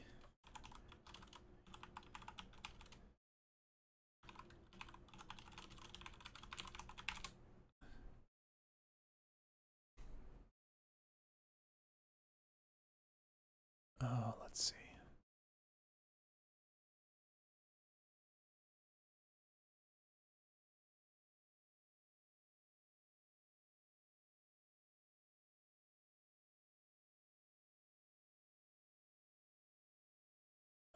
Okay.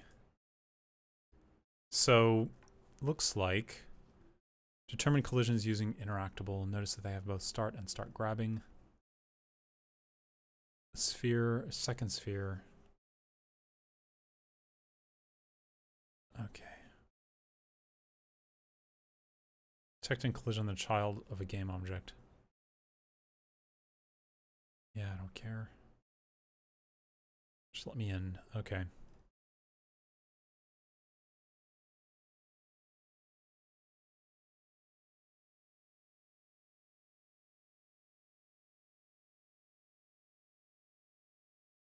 Have collision when their children touch something. Okay, so it should just work. Um,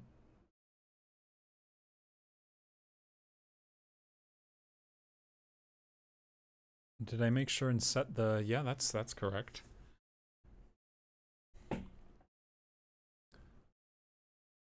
The part where the parent knows that it's touched and has the correct info box set. Let's try it again. Whoops. Oh, it, seemed like uh, no, no, no.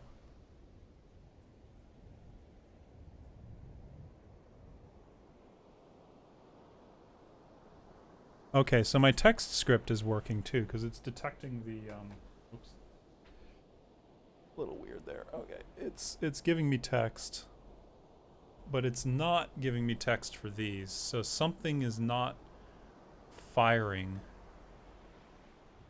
in terms of the script that says, "Hey, your child objects are going off." So and I think I've had VS Code up this entire time. Sorry. The thing we're worried about is when we're using the object. Let's look up VRTK interact use.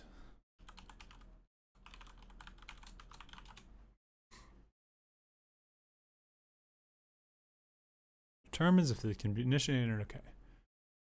Interact grab script on either the game object with the interact and touch any other game object to provide a controller events component.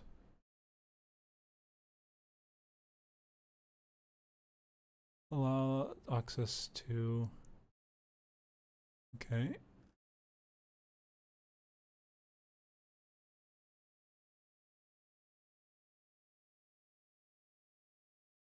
Maybe if I add the, let's try this, go back to Unity here.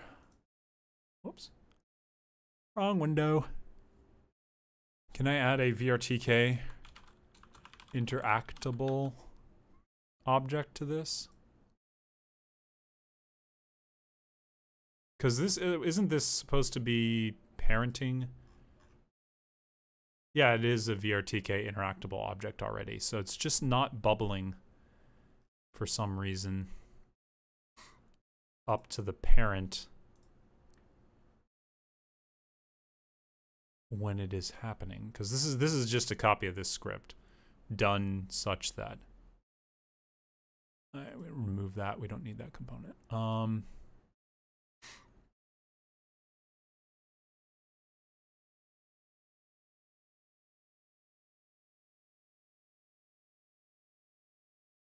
okay. Tk interact object child object. Google foo, don't fare me now. Oh, they made a full-on uh, Unity Learn thing for VRTK. I didn't know that. That's cool.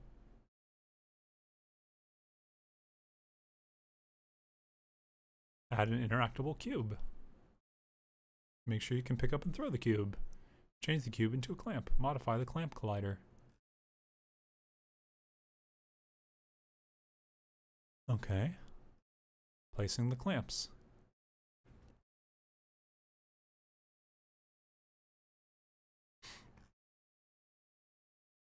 These don't look like child objects, though, is the problem.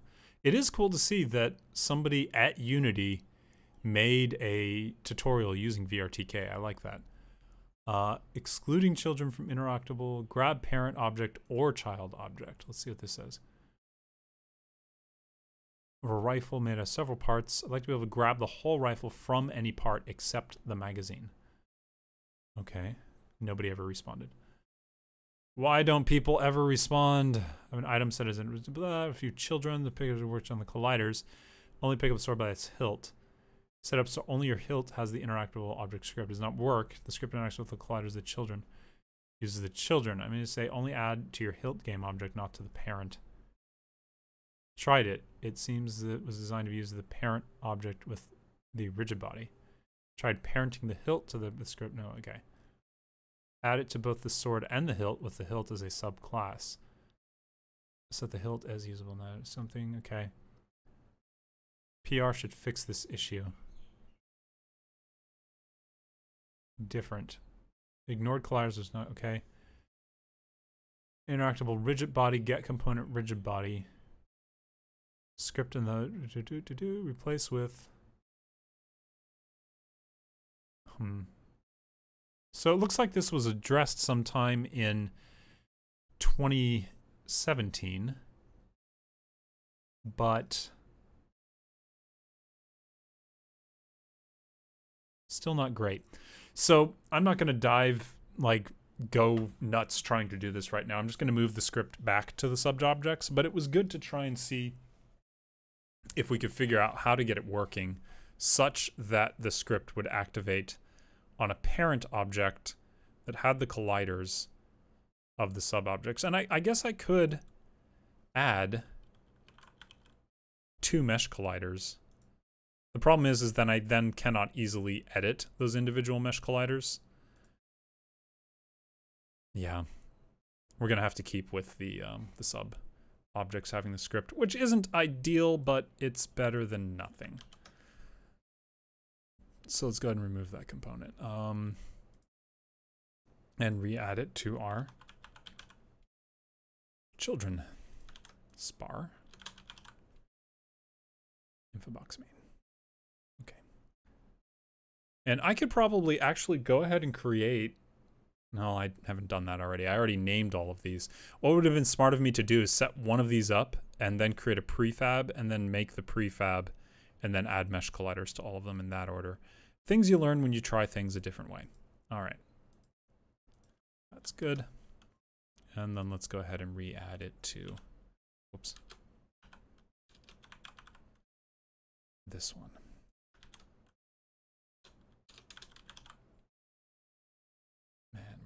You over there. Boom, boom, boom, boom. Oops. And save. And let's just verify that it is still working correctly. Really quick here. All right.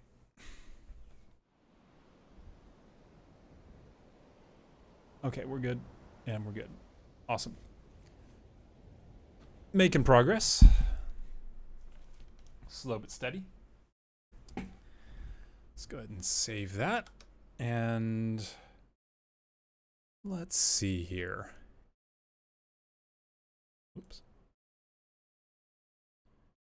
Do, do, do, do, do, do, do. Mm -mm -mm.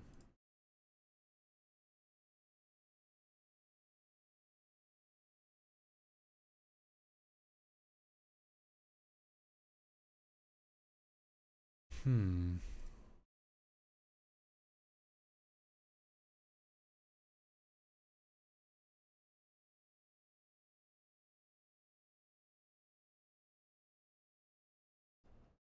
Okay, VS Code should be off. Cool. Let's go ahead and start adding our horn colliders. So again, because there's two of these, we're going to need to add one for each one. So we'll create uh, two empty game objects here, and we'll call this uh, horn forward and horn aft. And the forward one is going to use a collider. That is a mesh collider. And we're going to add the mesh of just this guy. Oh, it's the whole thing. Okay, so this is where it gets a little interesting. We're going to have to create a custom collider because we don't want that entire thing to be our collider. Um, we're going to make this simple. We're just going to add a box collider instead. And we're going to move this box collider over here. And then we're going to edit the box collider so that it is a good happy size for what we're trying to do. Hey Anna, thanks for stopping by. Everybody, Anna is one of the programmers on this project. Uh, you all should give her a follow as well. I don't know if she does or does not code, live stream code or not. Regardless, she's awesome and uh, is the person who basically made all of the really cool um, star map stuff that we have in the simulation, as well as a bunch of other scripting work.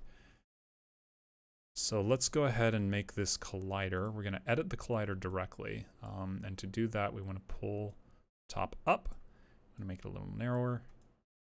Uh, actually, let's go to ortho and get a head-on view here. There we go.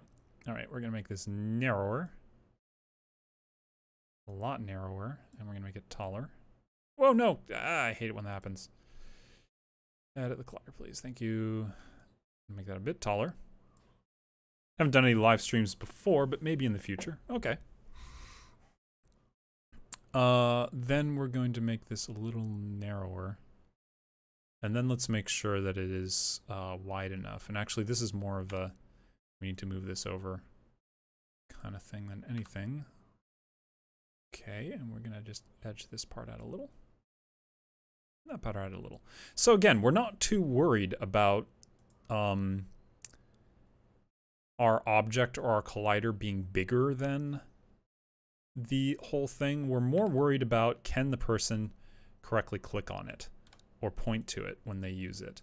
Because we want to make sure that uh, the usability, more than anything, is, is what we're going for here. So as long as the person can point to this thing and it looks good, then I'm not so worried about um,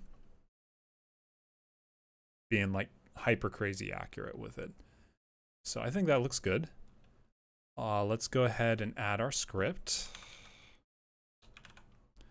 Our learning. Uncheck, uncheck. Check, check. And this is the horn. Uh, and the other name for the horn is the pueo. And that's just pueo. And then uh, I guess we just call that horn, parenthetical for tricing lines. And then we need to add our info box so that it will correctly work with that. Cool. Okay, and as usual, uh, create and then test. So let's go ahead and get my head set up and change back from ortho to perspective. Looks good to me. And let's try pointing at it. Oh, don't need that other controller right now. Okay, come here. Go up there. Point at the thing. Hey, we got a horn. We got a spar. This is really coming together. It looks awesome. We've also got a uh, Pale kai, the splash guard, and then we just have a test cube that I was using for some stuff. But we're making progress on being able to point at all the parts of the Va'a. I still don't know what it's colliding with there. That's just weird. But I'm going to find out eventually. Okay. Uh, I want to get this. I'm going to try and get as much of this done today. And if I don't finish it today, I'm going to try and finish it um, next week. All right. Cool. Let's add our box collider. And let's edit our box collider in ortho mode.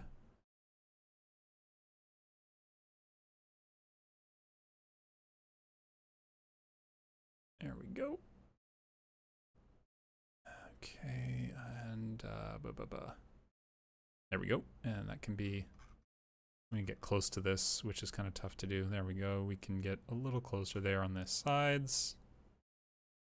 And then let's take a look at it from a Y perspective, and that can definitely be a little bit narrower as well. Okay, let's take a look at it from the side. And do we really want to worry about tilting this? No. No, let's let's pull this out just a little because we want it to be slightly larger than the object so that it's easy to use. Okay, that looks good to me. We've got a nice cube around our thing that we're pointing at. Okay, and then we're to add our script. Oh, detect. This thing. No, no, yes, yes. And this is the Pu-E-O. And the horn for tricing lines. And I want to make sure I typed that the same for both of them. Oops. Oh, I got a phone call. Just a moment, folks. I gotta take care of this phone call. I will be right back. Okay, we back. I gotta turn off my second mic again. Because it loves to turn on when I'm doing stuff. Okay, we were in the uh, middle of adding the second horn and the text info box. Kaboom. Done. Save. Awesome. Time to test.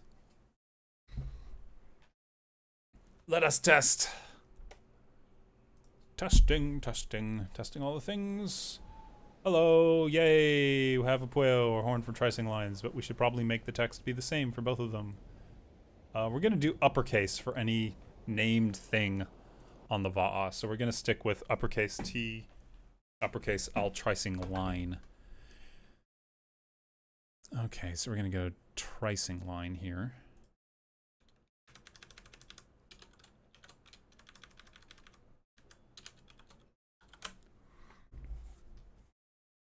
Okay.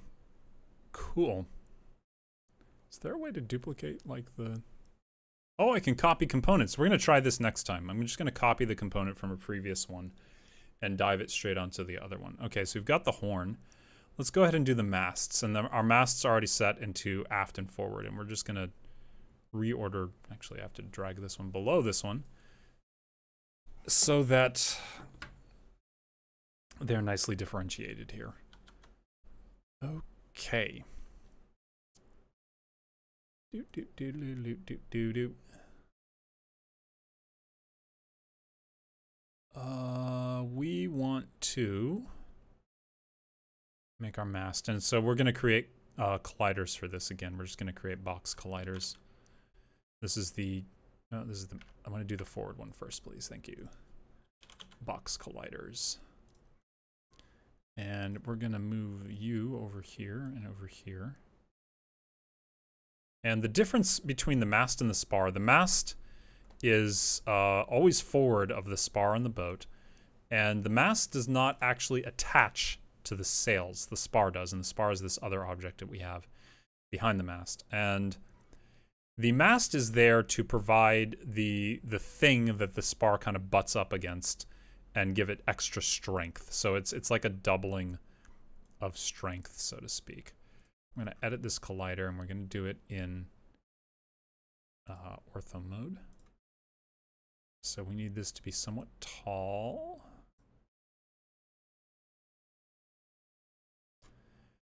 And we need it to be narrower. Uh, oops. Much narrower. Well, no! Stop doing that. Okay, here we go.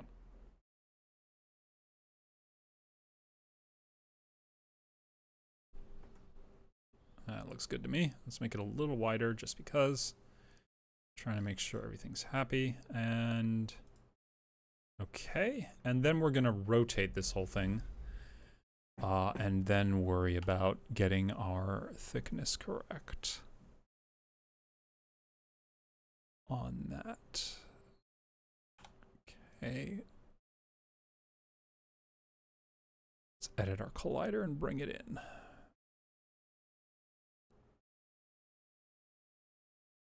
Right about, uh, yeah, we can still rotate this a little nicer so that it sits more like that. There we go.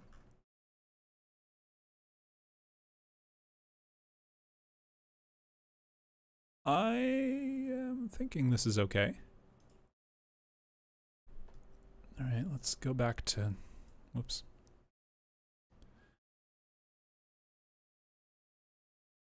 Okay, I want to I want to extend the collider down into the foot a little bit just so that it um, does that. And then we want to make sure that our horn and our mast, yeah, they're pretty good. Okay. Um, we're going to widen that collider a little bit again too. So let's go ahead and uh, pull this out a bit, just a tad.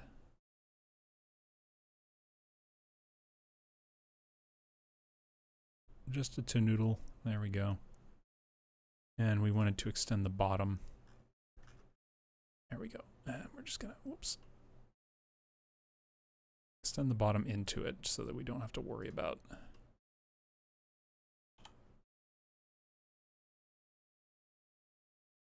Okay. Just past the bottom is okay. We don't need to go crazy there. And yes, again, it is bigger than the thing that we're pointing at, but I am okay with this fact. Okay, that was good. And we're going to add our script, but we're going to try copying our component. And then let's try, how do we paste the component?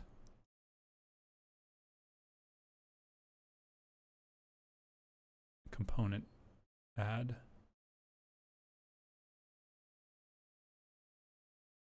Paste component. Can I just paste? Why you no do?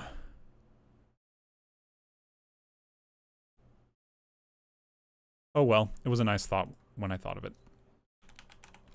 Back to manual. Why not? Okay, and this is going to be our mast. This is our our forward mast, which is the Kia Mua forward mast. And we got our info box. Okay, mast number one is done. Let's go ahead and test. Create, test, iterate. Uh -huh. Oh, I should probably uppercase OPEA. Okay, cool. Looking good. Oh, man, yeah. Okay. I think I'm going to do this for another half hour, uh, and then we'll take a break. And I'll probably stream something else for a little bit for fun. Collider. It's our box collider. All right. Uh, where is that guy? Because I know he was... I just remembered something. Sorry. I'm totally not ADD at all, or the appropriate name thereof. Sorry.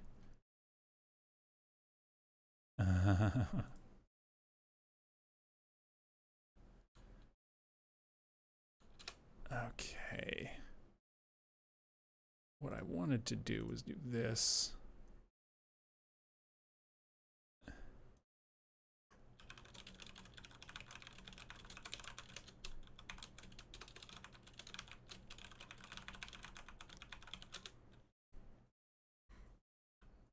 Okay. And we need to move this over here, and then we need to mess with the collider. Uh, and to do that, we need to be on the correct thing, and then change it to ortho, and then have fun with. This would actually be kind of fun to make like a, a 2D platformer with. All right, up you go. And down you go. I wish that the colliders had larger drag handles on them because it really is kind of a pain in the butt to do this. All right, uh, change our perspective to there. Um, zoom way in so that we can actually see what it is we're editing. And get the width just outside of those boxes.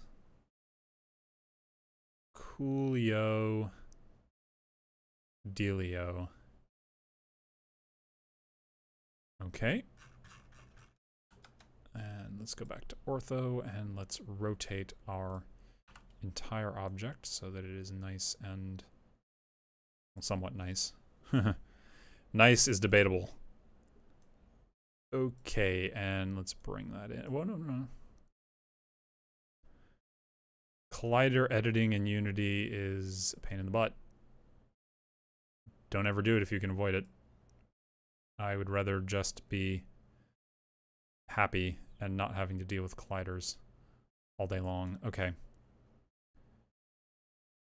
That looks good. That looks good. Let's get this down into the base just a tad. And I think I'm going to shrink this so that it, it doesn't quite... Because the line at the top round, wrapped around the top there is not super important to the usability of the whole thing, so I'm less worried about that. Uh, I am going to take a look at my forward one really quick, though, and how... Yeah, I kind of cut into the line there, too, so I'm not all that worried about it. All right, our aft one should be good. Uh, cool. Let's drop out of that perspective and make sure everything looks solid there, which it pretty much does. Um, actually, that could be a bit... No, no, we're well outside the the space for it. Okay. Let's add our script. Detecting all the lasers. Laser all the detections. And this has the same name of oh no, this is a this is a different name. This is the um this is the aft mast. And the aft mast I gotta find it on my list my list here. Aft sail. Do I have an aft mast? Oh yeah, the, it's the Kia Hope aft mast. And we want to use our info box for that part. Awesome. And again, test and verify. Into VR we go. And we got a Kia Hope, and the other one is the Kia Mua, and the Opa, and we've got our Polivai. Oh, it looks so cool.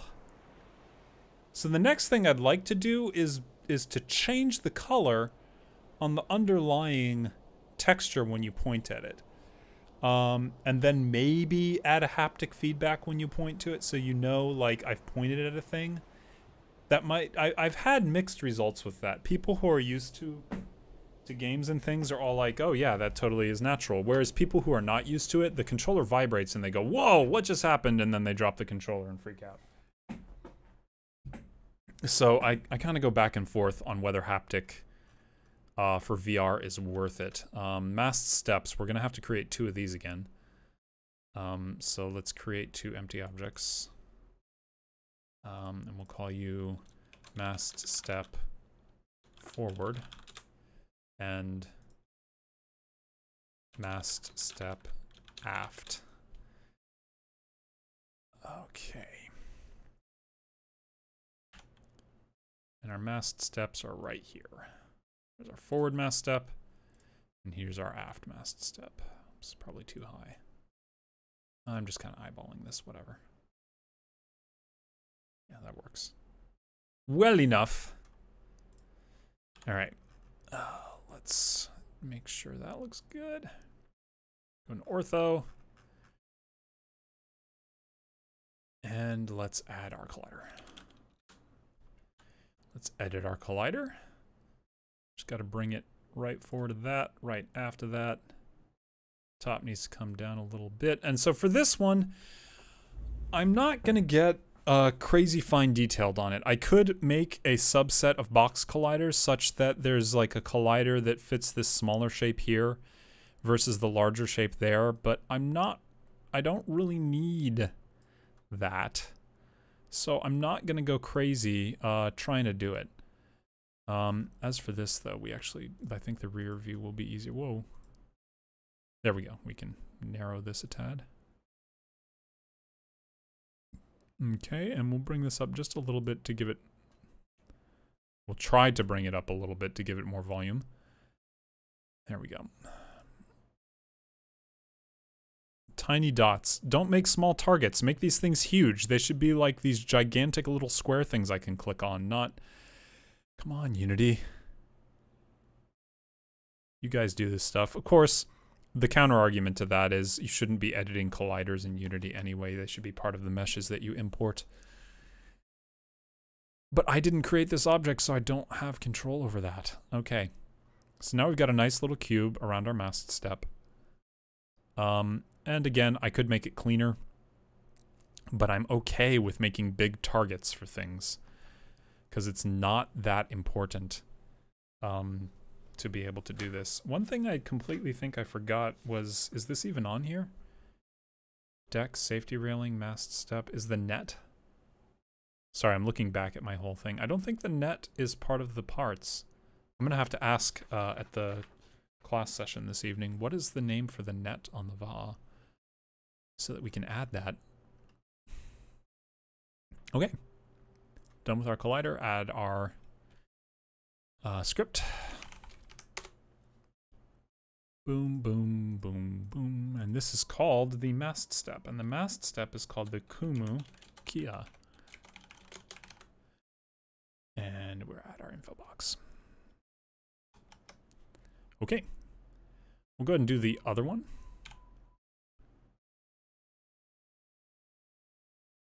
We'll add our box collider edit our box collider. We'll make it big. And bring it up. And check our perspective and make it narrower.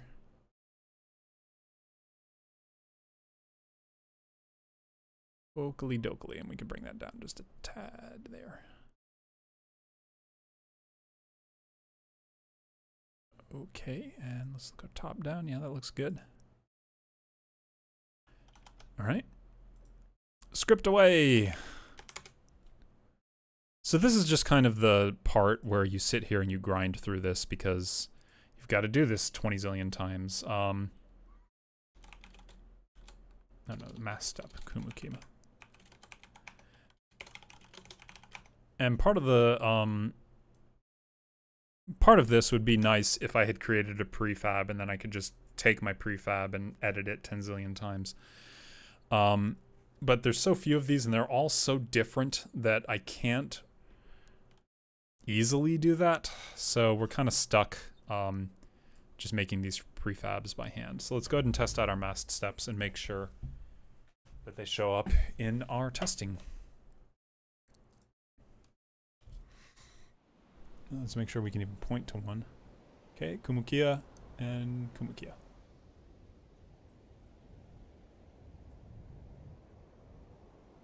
More and more parts showing up in the Va'a. It's going well. Cool stuff. Okay. Now we can delete that.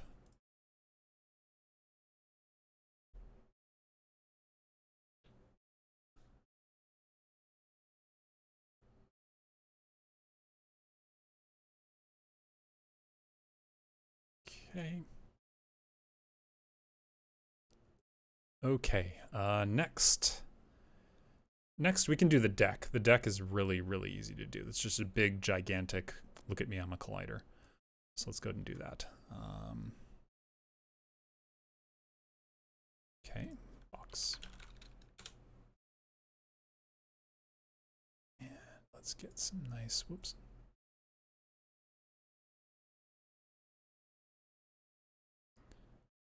And we're gonna need to make this pretty big. So all the way up there. And all the way back there. I'm gonna make you smaller like that. And probably uh, like that. And let's go for the back perspective. It needs to be as wide as the deck.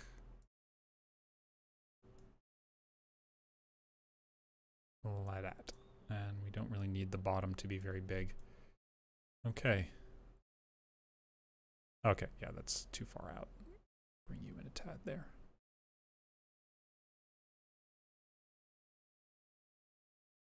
Okay, that looks pretty good to me. And I'm having it float a little bit above the deck on purpose because uh, I don't want to... Yeah, it should just work. Okay, cool. Detect lasers. And the name for the deck is the Pola. And then we add that. And let's test it. Might have to stand up for this one so that I can actually get high enough. Get perspective. Oh, no worky. I forgot to set the... Always forgetting to do things. And unfortunately, our deck is colliding with our other things. So we need to change the layer so that those two layers don't collide and freak out our um our other stuff. So that should work now. But why is it colliding? It shouldn't collide. They should be on different layers. Um, let's take a look at you. You should be on the layer of rudder only. And how do you edit? Let's see.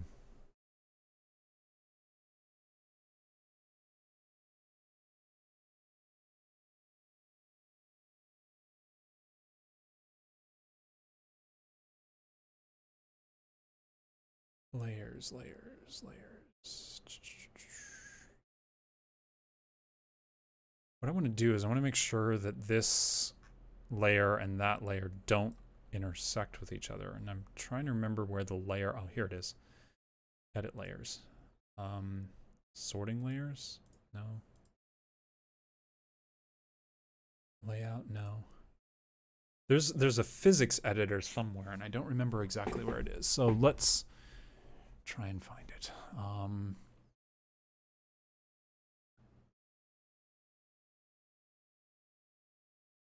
game object component window, no.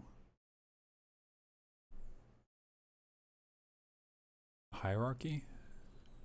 No.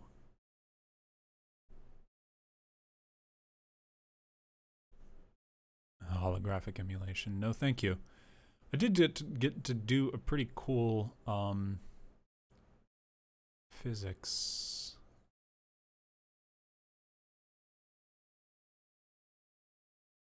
Oh, Anna, are you still there by any chance? If you are, please speak up in chat just so I can show you something cool really quick. I think it's an edit project setting, then physics. Thank you. Yeah, they, they bury this in weird places. Okay, cool. So we don't want our rudder and our learning pointer layers to interact at all. In fact, we don't want our rudder to interact with anything practically.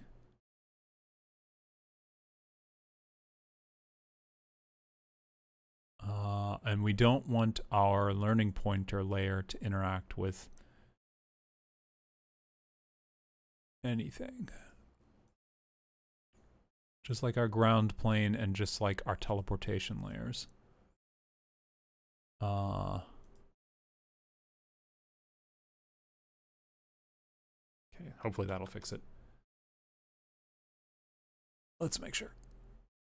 Uh, this is gonna be okay. It's not freaking out anymore, so I'm happy. Okay. Um, I wanted to show you something that I I managed to figure out, and this was just completely a fluke. Um, I was messing around and I created. Where did I move it? I moved it somewhere that it was easier to find. Okay, so we've got a sailcloth, and that's p-plane 1. We're going to disable it. And I created a sailcloth that I have here, which I'm going to enable. And I want you to see what this does um, when we play. It looks like real cloth. It's real. It, it, it moves and flows like actual cloth. So uh, I was just messing around and I figured out how to get the cloth simulator working. Um, basically, you set attachment points, and I set various attachment points, and I just did this as a quick experiment, so you can see there's some messiness. Um, but it hangs, and I set the points up here to hang, and then I attached it to the sides, and I attached it down here. So if you add any sort of physics interaction with it, so if I take this whole object and I rotate it, the cloth moves, right? So we could add a wind or we could add some sort of other thing and it just works.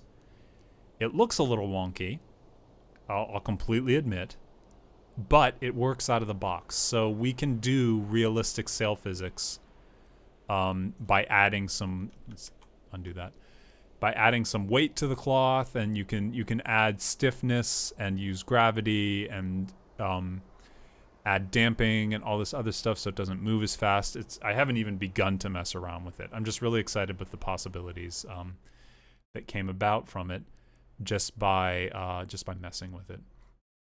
So let's undo those changes so that the original object is back active. Cool. So I just threw that in there. Feel free to play with it um, when you pull down the changes um, and mess around with it later. Uh, I took I, I cloned the object and I put it in the exact same place and then I added the sail physics to it after that. So I left the original one there so that we had something to um, to return to if we needed to. I'm really excited by the possibilities of that. It'll look really cool if we can make heavy sails and then add wind physics and be like, look, and then we add some rotation and some other stuff. Yeah, it'll be cool. I'm looking forward to it. Um, okay. So where was I? I was in the point of fixing the rudder, which I did. And we had added the deck, and we didn't add... Okay, we tested the deck, and the deck worked. And we fixed the deck so that it wouldn't freak out our rudder or other objects. So we're good there. I think we're going to go ahead and save this, because uh, we've done quite a bit of good work. Um, so we finished the spar, we finished the horns, we finished the masts, uh, forward and aft. We finished the mast steps, and we finished the um, the deck. So we still have a bit more to do. Uh, the hull is going to be kind of weird because all of these parts are different parts on the hull, and I'm not. I haven't decided how far I want to break these down. Like, do we really want to get into depth into depth of the bottom of the hull, which you can't even point at anyway because it's underwater? Um, the port versus the starboard hull, the prow, which is these front parts, the um, the manus, which is the end pieces that stick up, and the tail pieces that stick up here. Um, I haven't really decided how I'm going to break those down yet. And then with all the tricing lines and the uh, the halyards and the stays and shrouds and the cross beams and all that stuff. Why is my cross beam object all the way over there? Why is my cross beam? Let's reset you to zero zero zero. You shouldn't be floating in midair. Weird. Oh, I guess it's because I moved my learning collider object somewhere. Reset your positions. All of you. I don't know why half of you decided, okay, we're going to move over there. Gosh. Don't do this. Silly thing.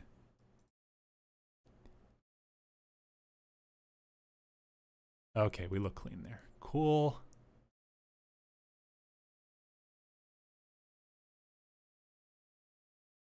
Yeah, you're fine. You're you're uh you're just you're taking the normal between the two of those. Okay, never mind. Don't need to worry about it. Uh sales are all good. Boom. Should not be there. We're gonna have to do two booms. The booms are gonna be kind of a pain in the ass because it's this curved object. So I'm gonna have to create multiple colliders somehow to really get a good intersection with it. I'm not looking forward to that. All right, that's correct. Those are fine. That one's fine. That one's fine. That, one's, that one's not fine.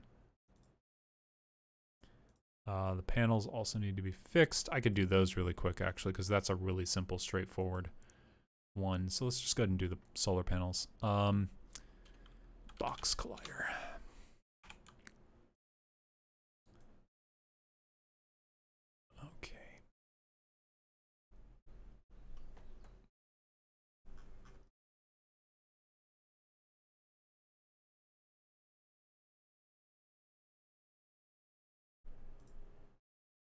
Cool.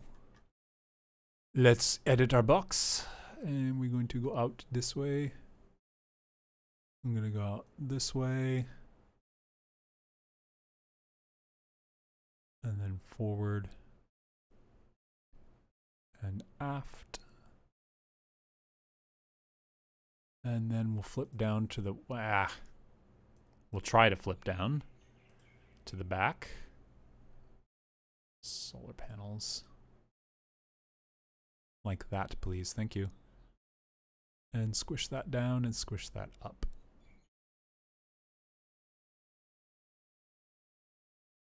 Okie dokie. Hmm.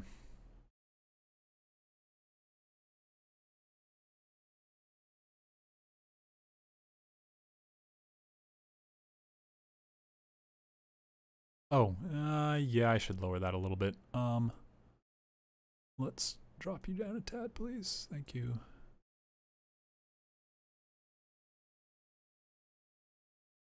That looks clean to me. Detect laser. Boom, boom, boom, boom. And the solar panels are called the Papa Uila or Pua Pua Ila. Haven't really decided. Pua Pua. Oh, I can't type Hawaiian language. We'll, we'll just stick with this for now. Solar panels. And we'll add our info box to there and save. All right, cool. And we don't really need our test learning cube anymore. I'm going to leave it in the scene uh, so that people can take a look at it if they need to. Uh, it's going to go in our testing objects cache over here. We have a lot of those for various random things just in case. Okay. Let's give it one last sweep. Okay, we got our solar panels, we got our deck, got our Opea, Kiahope, and we've got the Pueo. We've got some mast steps, and we've got a Palivai or Pola. And Polikai. Okay, and that's all the things I added. And the spar, right? Yeah, Opea. Op Opea. Okay. Why did that boom? Oh yeah, and then we've also got our um are interactables, which are way too small to interact with easily. Ding. Okay. That's it. Put in a good couple hours of work on this, and we've made a lot of progress. About halfway done. Good thing is, is once this is finished, and uh, once some of our other project members who may or may not be in the channel finish some of the work they also have to do on this, we will be able to release this out to the public.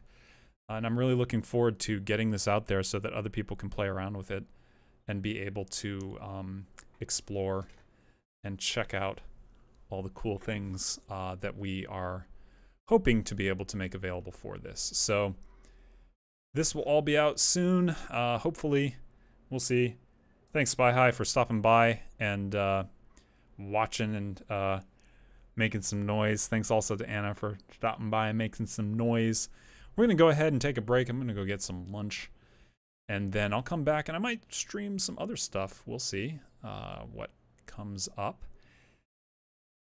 And William was watching too. Okay, awesome. I'm glad that he did catch. I stopped and um, dropped him an email really quick so that he could see part of the project. Um, if he has any comments, please, if you are watching or were watching, let him know uh, to just drop me an email with questions or anything. Um, and just so you know, Anna, uh, you, Anna knows who William is, so that makes sense. He's gonna help us make some in-game um, like ambient music to add to the whole thing, uh, so we can get some nice background noise aside from just our ocean sound. And we'll make an option to turn that on or off, so that if people want a more immersive experience, they can turn off the music, uh, or if they want uh, some background ambient noise, I shouldn't call it noise, some ambient music, they can turn that on or off. But I'm done making noise myself. So let's go ahead and take a look. Who should we host today? Uh, let's see who's streaming out there.